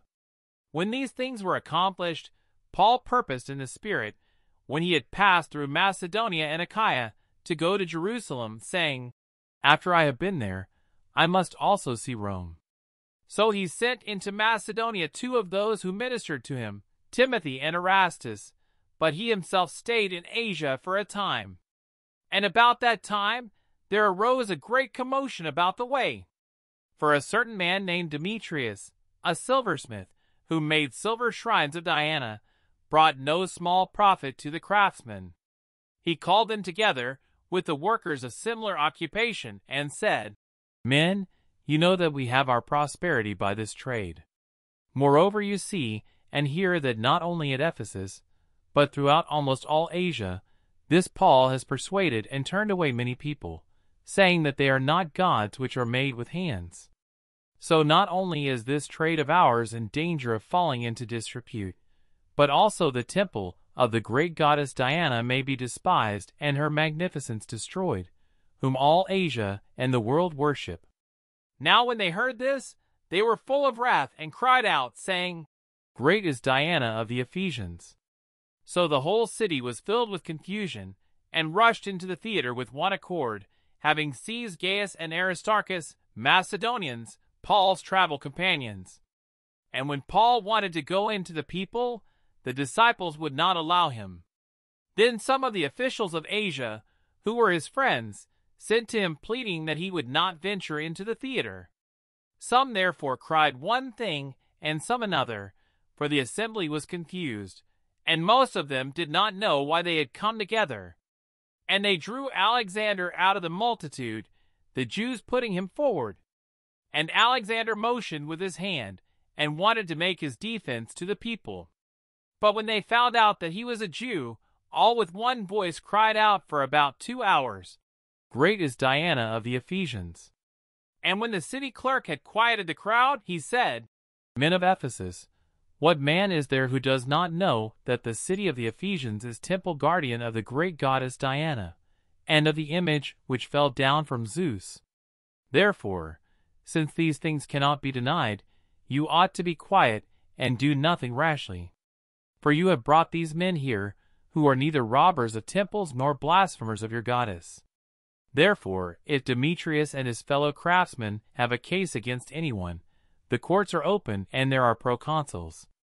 Let them bring charges against one another. But if you have any other inquiry to make, it shall be determined in the lawful assembly. For we are in danger of being called in question for today's uproar, there being no reason which we may give to account for this disorderly gathering. And when he had said these things, he dismissed the assembly. Chapter 20 After the uproar had ceased, Paul called the disciples to himself, embraced them, and departed to go to Macedonia. Now when he had gone over that region and encouraged them with many words, he came to Greece, and stayed three months. And when the Jews plotted against him, as he was about to sail to Syria, he decided to return through Macedonia. And Sopater of Berea accompanied him to Asia also Aristarchus, and Secundus of the Thessalonians, and Gaius of Derbe, and Timothy, and Tychicus and Trophimus of Asia. These men, going ahead, waited for us at Troas. But we sailed away from Philippi after the days of unleavened bread, and in five days joined them at Troas, where we stayed seven days. Now on the first day of the week, when the disciples came together to break bread, Paul, ready to depart the next day, spoke to them, and continued his message until midnight. There were many lamps in the upper room where they were gathered together, and in a window sat a certain young man named Eutychus, who was sinking into a deep sleep. He was overcome by sleep, and as Paul continued speaking, he fell down from the third story and was taken up dead. But Paul went down, fell on him, and embracing him said, Do not trouble yourselves, for his life is in him. Now when he had come up, had broken bread and eaten, and talked a long while, even till daybreak, he departed. And they brought the young man in alive, and they were not a little comforted. Then we went ahead to the ship and sailed to Assos, there intending to take Paul on board, for so he had given orders, intending himself to go on foot. And when he met us at Assos, we took him on board and came to Mytilene. We sailed from there, and the next day came opposite Chios. The following day we arrived at Samos and stayed at Trogyllium. The next day we came to Miletus, for Paul had decided to sail past Ephesus, so that he would not have to spend time in Asia, for he was hurrying to be at Jerusalem, if possible, on the day of Pentecost. From Miletus he sent to Ephesus and called for the elders of the church. And when they had come to him, he said to them, You know, from the first day that I came to Asia, in what manner I always lived among you, serving the Lord with all humility, with many tears and trials which happened to me by the plotting of the Jews. How I kept back nothing that was helpful, but proclaimed it to you, and taught you publicly and from house to house, testifying to Jews, and also to Greeks, repentance toward God and faith toward our Lord Jesus Christ. And see, now I go bound in the Spirit to Jerusalem, not knowing the things that will happen to me there, except that the Holy Spirit testifies in every city, saying that chains and tribulations await me.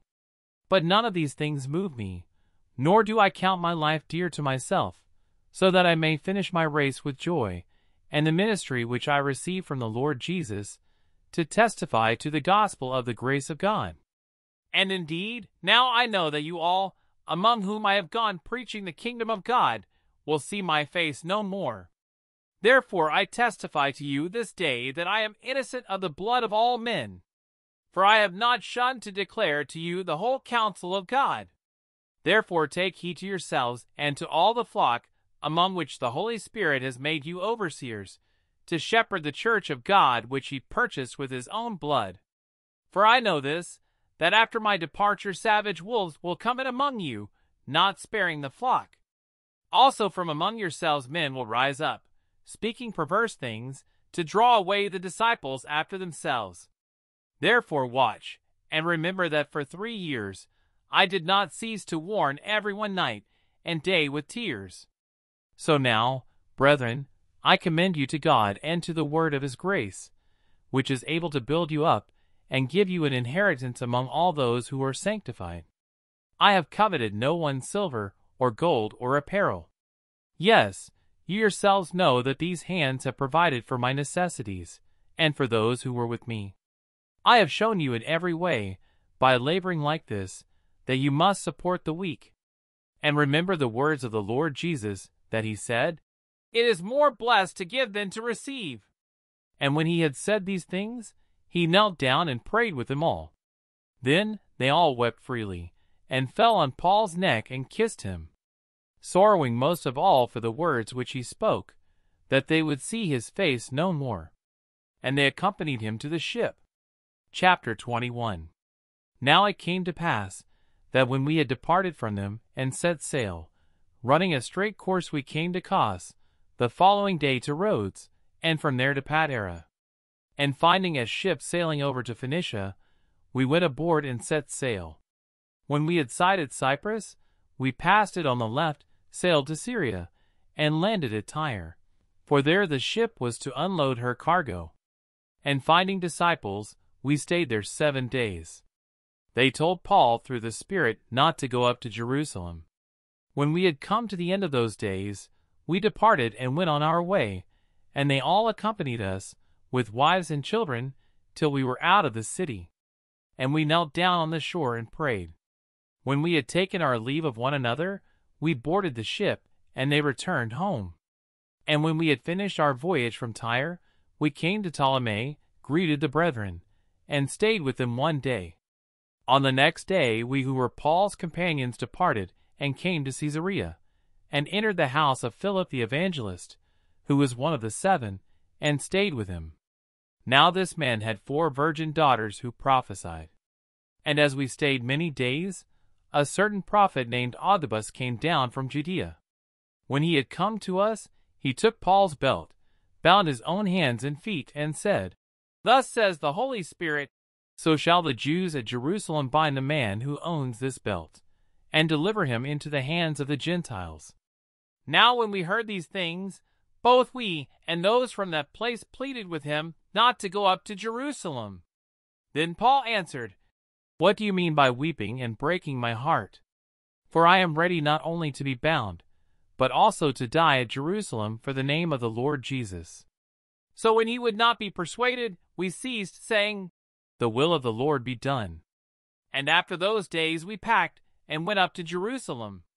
Also some of the disciples from Caesarea went with us, and brought with them a certain Mnason of Cyprus, an early disciple, with whom we were to lodge. And when we had come to Jerusalem, the brethren received us gladly. On the following day Paul went in with us to James, and all the elders were present. When he had greeted them, he told in detail those things which God had done among the Gentiles through his ministry. And when they heard it, they glorified the Lord. And they said to him, You see, brother, how many myriads of Jews there are who have believed, and they are all zealous for the law. But they have been informed about you that you teach all the Jews who are among the Gentiles to forsake Moses, saying that they ought not to circumcise their children nor to walk according to the customs. What then? The assembly must certainly meet, for they will hear that you have come. Therefore do what we tell you. We have four men who have taken a vow. Take them and be purified with them, and pay their expenses so that they may shave their heads, and that all may know that those things of which they were informed concerning you are nothing, but that ye yourself also walk orderly and keep the law. But concerning the Gentiles who believe, we have written and decided that they should observe no such thing, except that they should keep themselves from things offered to idols, from blood, from things strangled, and from sexual immorality. Then Paul took them in, and the next day, having been purified with them, entered the temple to announce the expiration of the days of purification, at which time an offering should be made for each one of them. Now, when the seven days were almost ended, the Jews from Asia, seeing him in the temple, stirred up the whole crowd and laid hands on him, crying out, Men of Israel, help! This is the man who teaches all men everywhere against the people, the law, and this place. And furthermore, he also brought Greeks into the temple, and has defiled this holy place. For they had previously seen Trophimus the Ephesian with him in the city, whom they supposed that Paul had brought into the temple. And all the city was disturbed, and the people ran together, seized Paul, and dragged him out of the temple, and immediately the doors were shut. Now, as they were seeking to kill him, news came to the commander of the garrison that all Jerusalem was in an uproar. He immediately took soldiers and centurions and ran down to them. And when they saw the commander and the soldiers, they stopped beating Paul. Then the commander came near and took him, and commanded him to be bound with two chains, and he asked who he was and what he had done. And some among the multitude cried one thing, and some another. So when he could not ascertain the truth because of the tumult, he commanded him to be taken into the barracks. When he reached the stairs, he had to be carried by the soldiers because of the violence of the mob. For the multitude of the people followed after, crying out, Away with him! Then, as Paul was about to be led into the barracks, he said to the commander, May I speak to you? He replied, Can you speak Greek? Are you not the Egyptian who some time ago stirred up a rebellion and led the four thousand assassins out into the wilderness? But Paul said, I am a Jew from Tarsus, in Cilicia, a citizen of no mean city, and I implore you, permit me to speak to the people. So when he had given him permission, Paul stood on the stairs and motioned with his hand to the people. And when there was a great silence, he spoke to them in the Hebrew language, saying, Chapter 22 Brethren and fathers, hear my defense before you now. And when they heard that he spoke to them in the Hebrew language, they kept all the more silent. Then he said, I am indeed a Jew, born in Tarsus of Cilicia, but brought up in this city at the feet of Gamaliel, taught according to the strictness of our father's law, and was zealous toward God as you all are today. I persecuted this way to the death, binding and delivering into prisons both men and women. As also the high priest bears me witness, and all the council of the elders, from whom I also received letters to the brethren, and went to Damascus to bring in chains even those who were there to Jerusalem to be punished. Now it happened, as I journeyed and came near Damascus at about noon, suddenly a great light from heaven shone around me. And I fell to the ground and heard a voice saying to me, Saul, Saul, why are you persecuting me? So I answered, Who are you, Lord? And he said to me, I am Jesus of Nazareth, whom you are persecuting. And those who were with me indeed saw the light and were afraid, but they did not hear the voice of him who spoke to me. So I said, What shall I do, Lord?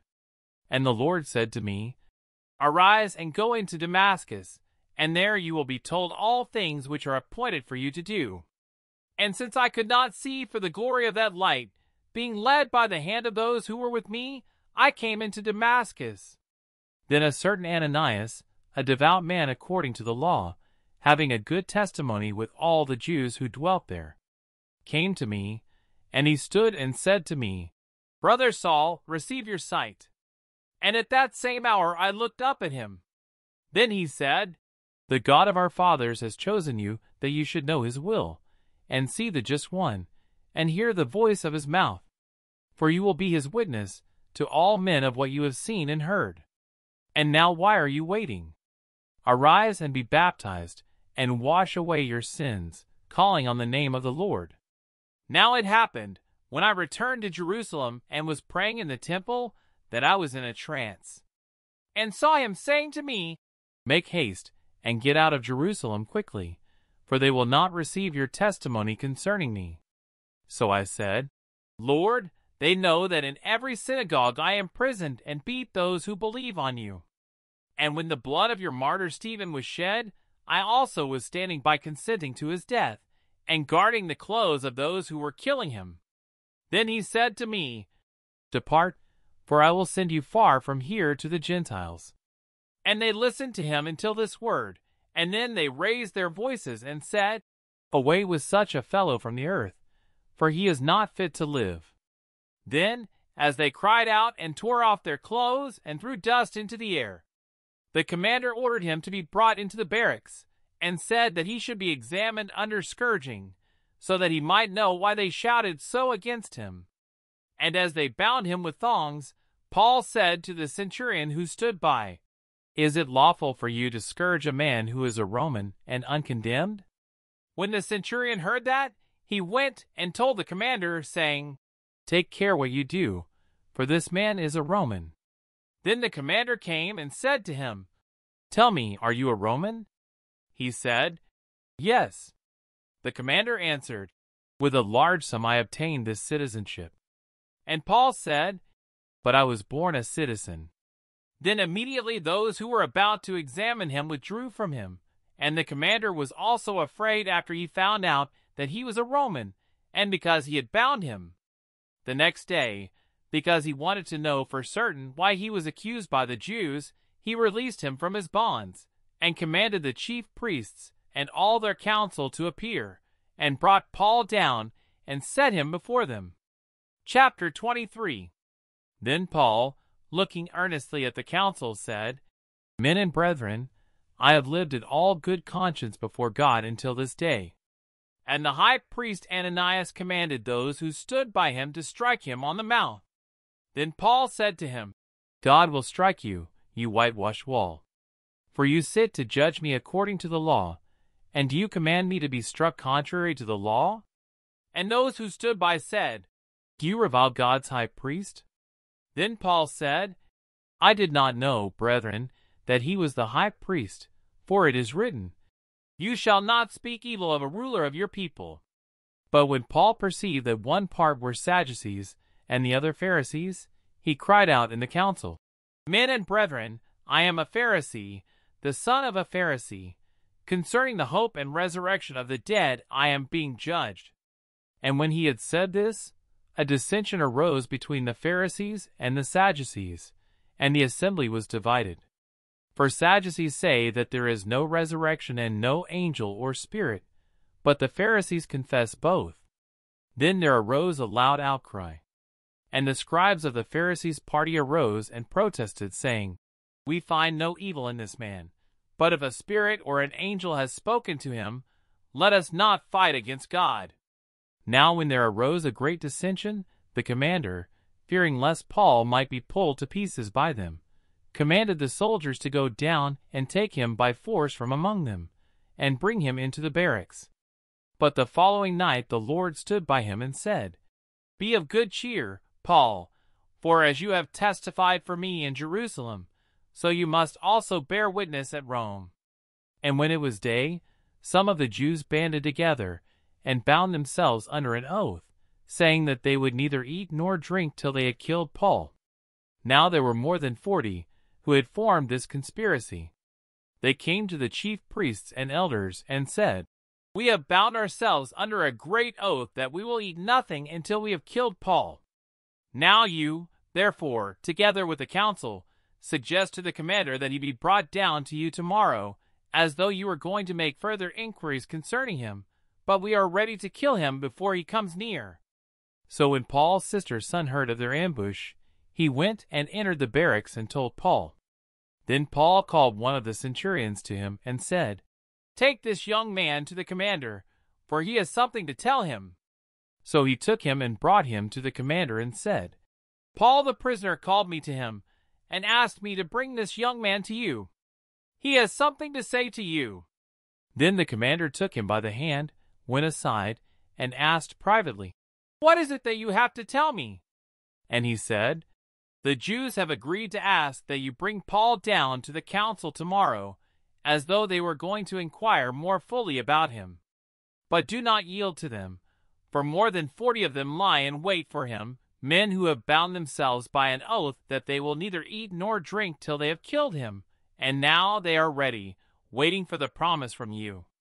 So the commander let the young man depart, and commanded him, Tell no one that you have revealed these things to me. And he called for two centurions, saying, Prepare two hundred soldiers, seventy horsemen, and two hundred spearmen to go to Caesarea at the third hour of the night.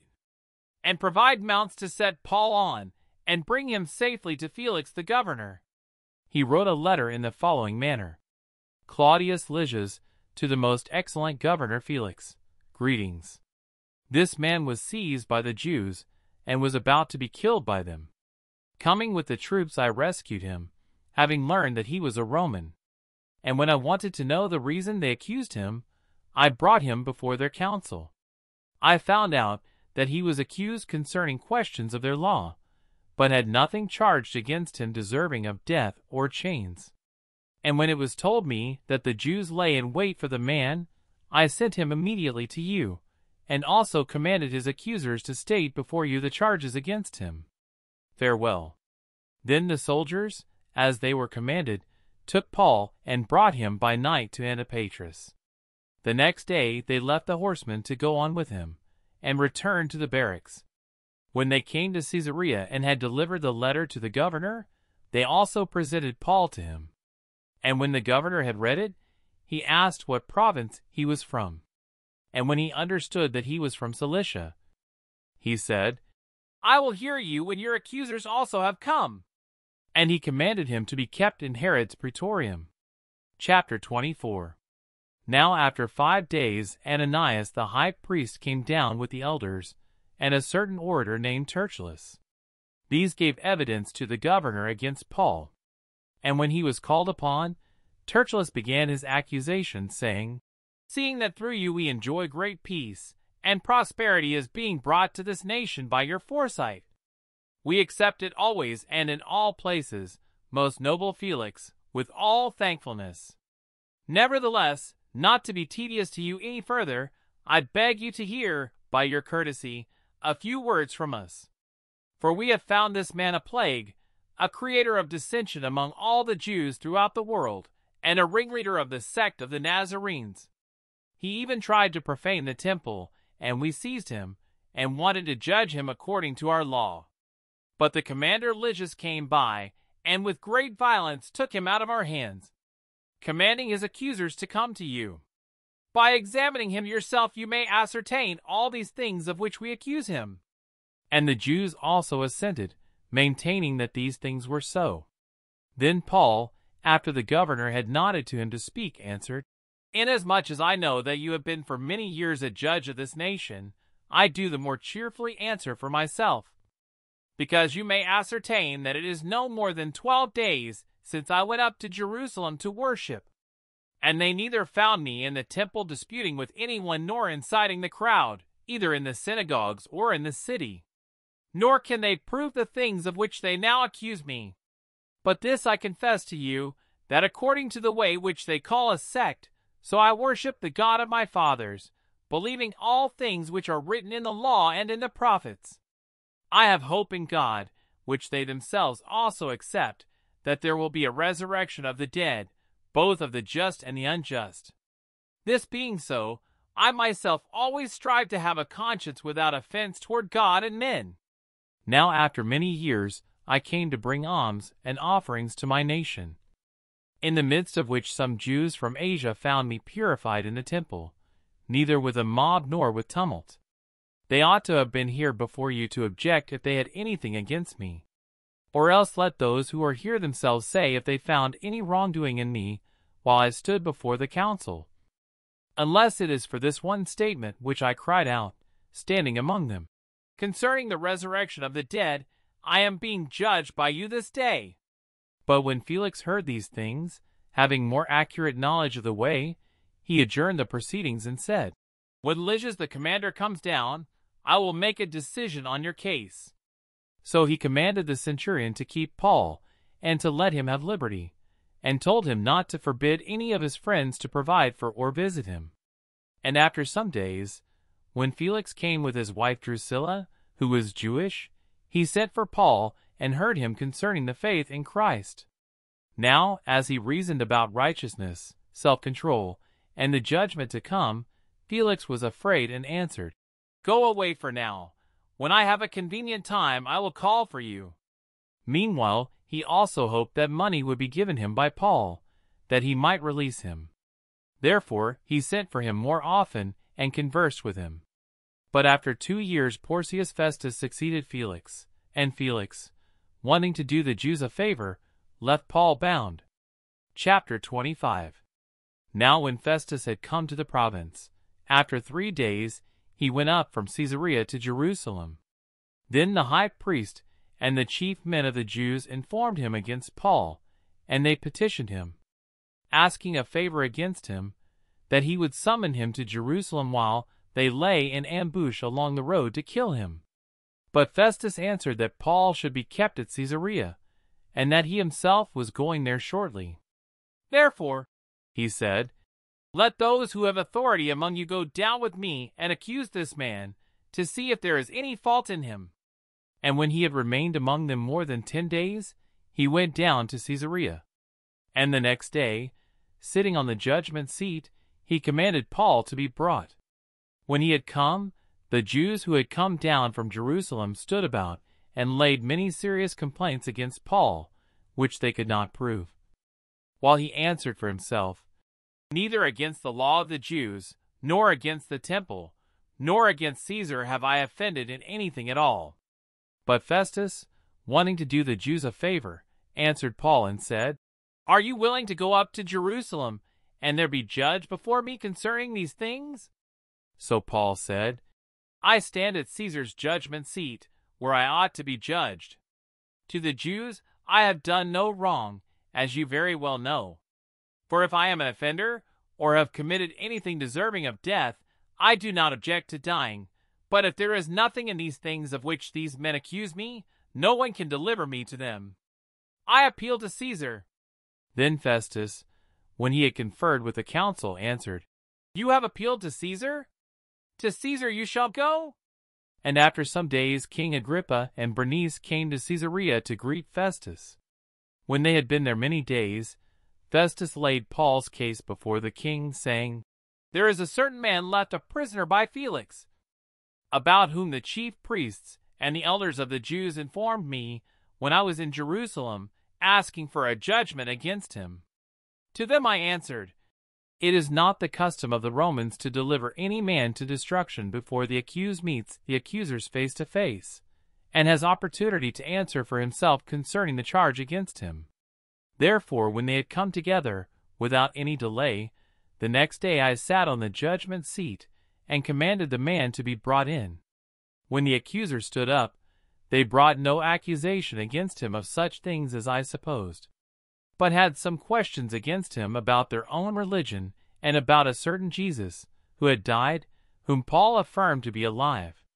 And because I was uncertain of such questions, I asked whether he was willing to go to Jerusalem and there be judged concerning these matters. But when Paul appealed to be reserved for the decision of Augustus, I commanded him to be kept till I could send him to Caesar. Then Agrippa said to Festus, I also would like to hear the man myself tomorrow. He said, You shall hear him. So the next day, when Agrippa and Bernice had come with great pomp, and had entered the auditorium with the commanders and the prominent men of the city, at Festus' command Paul was brought in. And Festus said, King Agrippa, and all the men who are here present with us, You see this man about whom the whole assembly of the Jews petitioned me, both at Jerusalem and here, crying out that he was not fit to live any longer. But when I found that he had committed nothing deserving of death, and that he himself had appealed to Augustus, I decided to send him. I have nothing certain to write to my lord concerning him.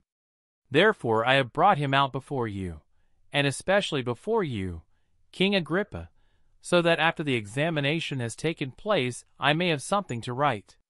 For it seems to me unreasonable to send a prisoner, and not to specify the charges against him.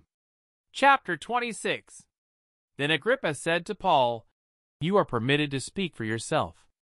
So Paul stretched out his hand and answered for himself. I think myself happy, King Agrippa, because today I shall answer for myself before you concerning all the things of which I am accused by the Jews, especially because you are expert in all customs and questions which have to do with the Jews. Therefore I beg you to hear me patiently. My manner of life from my youth, which was spent from the beginning among my own nation at Jerusalem, all the Jews know.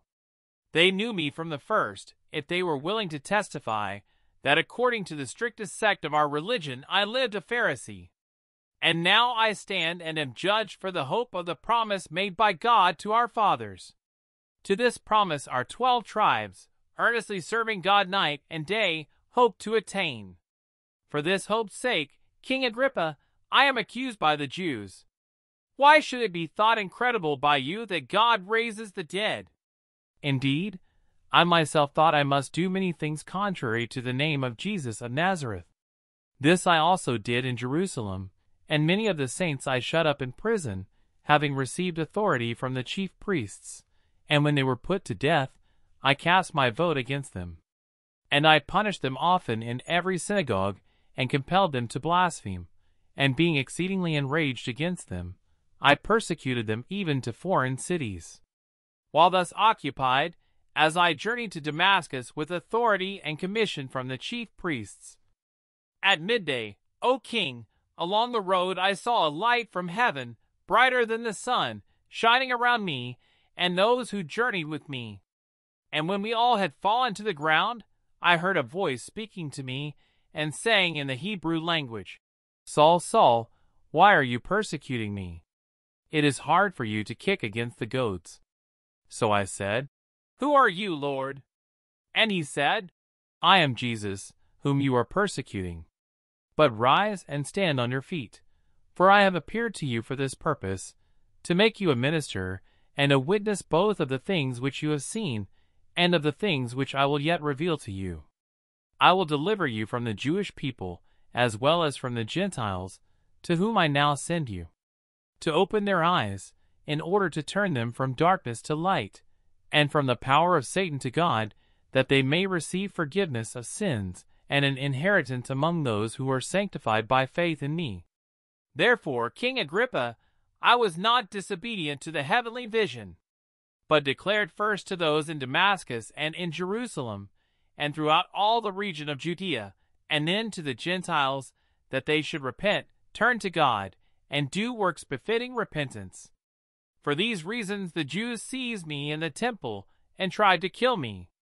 Therefore, having obtained help from God, to this day I stand, witnessing both to small and great, saying no other things than those which the prophets and Moses said would come that the Christ would suffer, that he would be the first to rise from the dead, and would proclaim light to the Jewish people and to the Gentiles. Now as he thus made his defense, Festus said with a loud voice, Paul, you are beside yourself. Much learning is driving you mad. But he said, I am not mad, most noble Festus, but speak the words of truth and reason. For the king, before whom I also speak freely, knows these things. For I am convinced that none of these things escapes his attention, since this thing was not done in a corner. King Agrippa, do you believe the prophets? I know that you do believe. Then Agrippa said to Paul, You almost persuade me to become a Christian. And Paul said, I would to God that not only you, but also all who hear me today, might become both almost and altogether such as I am, except for these chains. When he had said these things, the king stood up, as well as the governor and Bernice and those who sat with them. And when they had gone aside, they talked among themselves, saying, This man is doing nothing deserving of death or chains. Then Agrippa said to Festus, This man might have been set free if he had not appealed to Caesar. Chapter 27 And when it was decided that we should sail to Italy, they delivered Paul and some other prisoners to one named Julius, a centurion of the Augustan regiment. So, entering a ship of Adramyttium, we put to sea, meaning to sail along the coasts of Asia. Aristarchus, a Macedonian of Thessalonica, was with us. And the next day we landed at Sidon. And Julius treated Paul kindly, and gave him liberty to go to his friends and receive care. When we had put to sea from there, we sailed under the shelter of Cyprus, because the winds were contrary. And when we had sailed over the sea which is off Cilicia and Pamphylia, we came to Myra, a city of Lycia. There the centurion found an Alexandrian ship sailing to Italy, and he put us on board. When we had sailed slowly many days, and arrived with difficulty off Cnidus, the wind not permitting us to proceed, we sailed under the shelter of Crete off Salmone. Passing it with difficulty, we came to a place called Fair Havens, near the city of Lasea. Now when much time had been spent, and sailing was now dangerous, because the fast was already over, Paul advised them, saying, Men, I perceive that this voyage will end with disaster and much loss, not only of the cargo and ship, but also our lives. Nevertheless, the centurion was more persuaded by the helmsman and the owner of the ship than by the things spoken by Paul. And because the harbor was not suitable to winter in, the majority advised to set sail from there also, if by any means they could reach Phoenix, a harbor of Crete opening toward the southwest and northwest, and winter there. When the south wind blew softly, supposing that they had obtained their desire, putting out to sea, they sailed close by Crete. But not long after, a tempestuous head wind arose, called Euroclydon. So when the ship was caught, and could not head into the wind, we let her drive. And running under the shelter of an island called Clauda, we secured the skiff with difficulty. When they had taken it on board, they used cables to undergird the ship, and fearing lest they should run aground on the Syrtis sands, they struck sail, and so were driven and because we were exceedingly tempest tossed, the next day they lightened the ship. On the third day, we threw the ship's tackle overboard with our own hands. Now, when neither sun nor stars appeared for many days, and no small tempest beat on us, all hope that we would be saved was finally given up. But after long abstinence from food, then Paul stood in the midst of them and said, Men, you should have listened to me, and not have sailed from Crete and incurred this disaster and loss.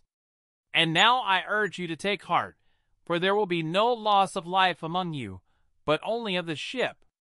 For there stood by me this knighted angel of the God to whom I belong and whom I serve, saying, Do not be afraid, Paul, you must be brought before Caesar, and indeed God has granted you all those who sail with you.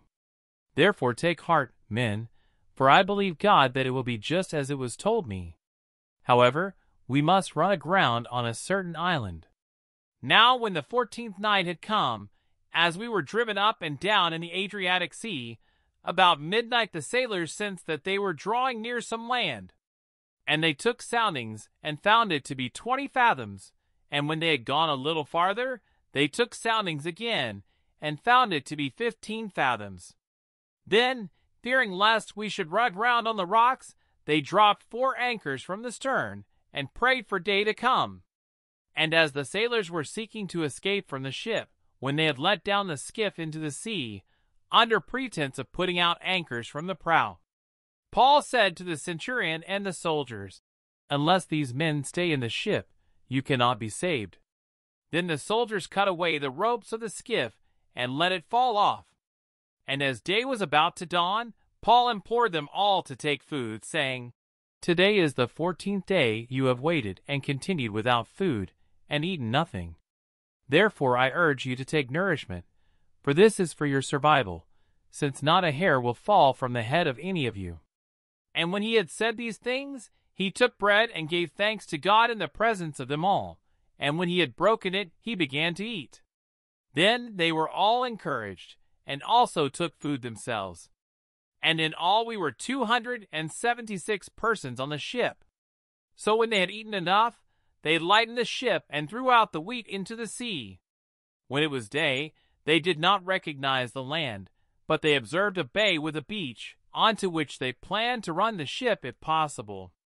And they let go the anchors and left them in the sea, meanwhile loosing the rudder ropes. And they hoisted the mainsail to the wind and made for shore. But striking a place where two seas met, they ran the ship aground, and the prow stuck fast and remained immovable. But the stern was being broken up by the violence of the waves. And the soldiers' plan was to kill the prisoners, lest any of them should swim away and escape.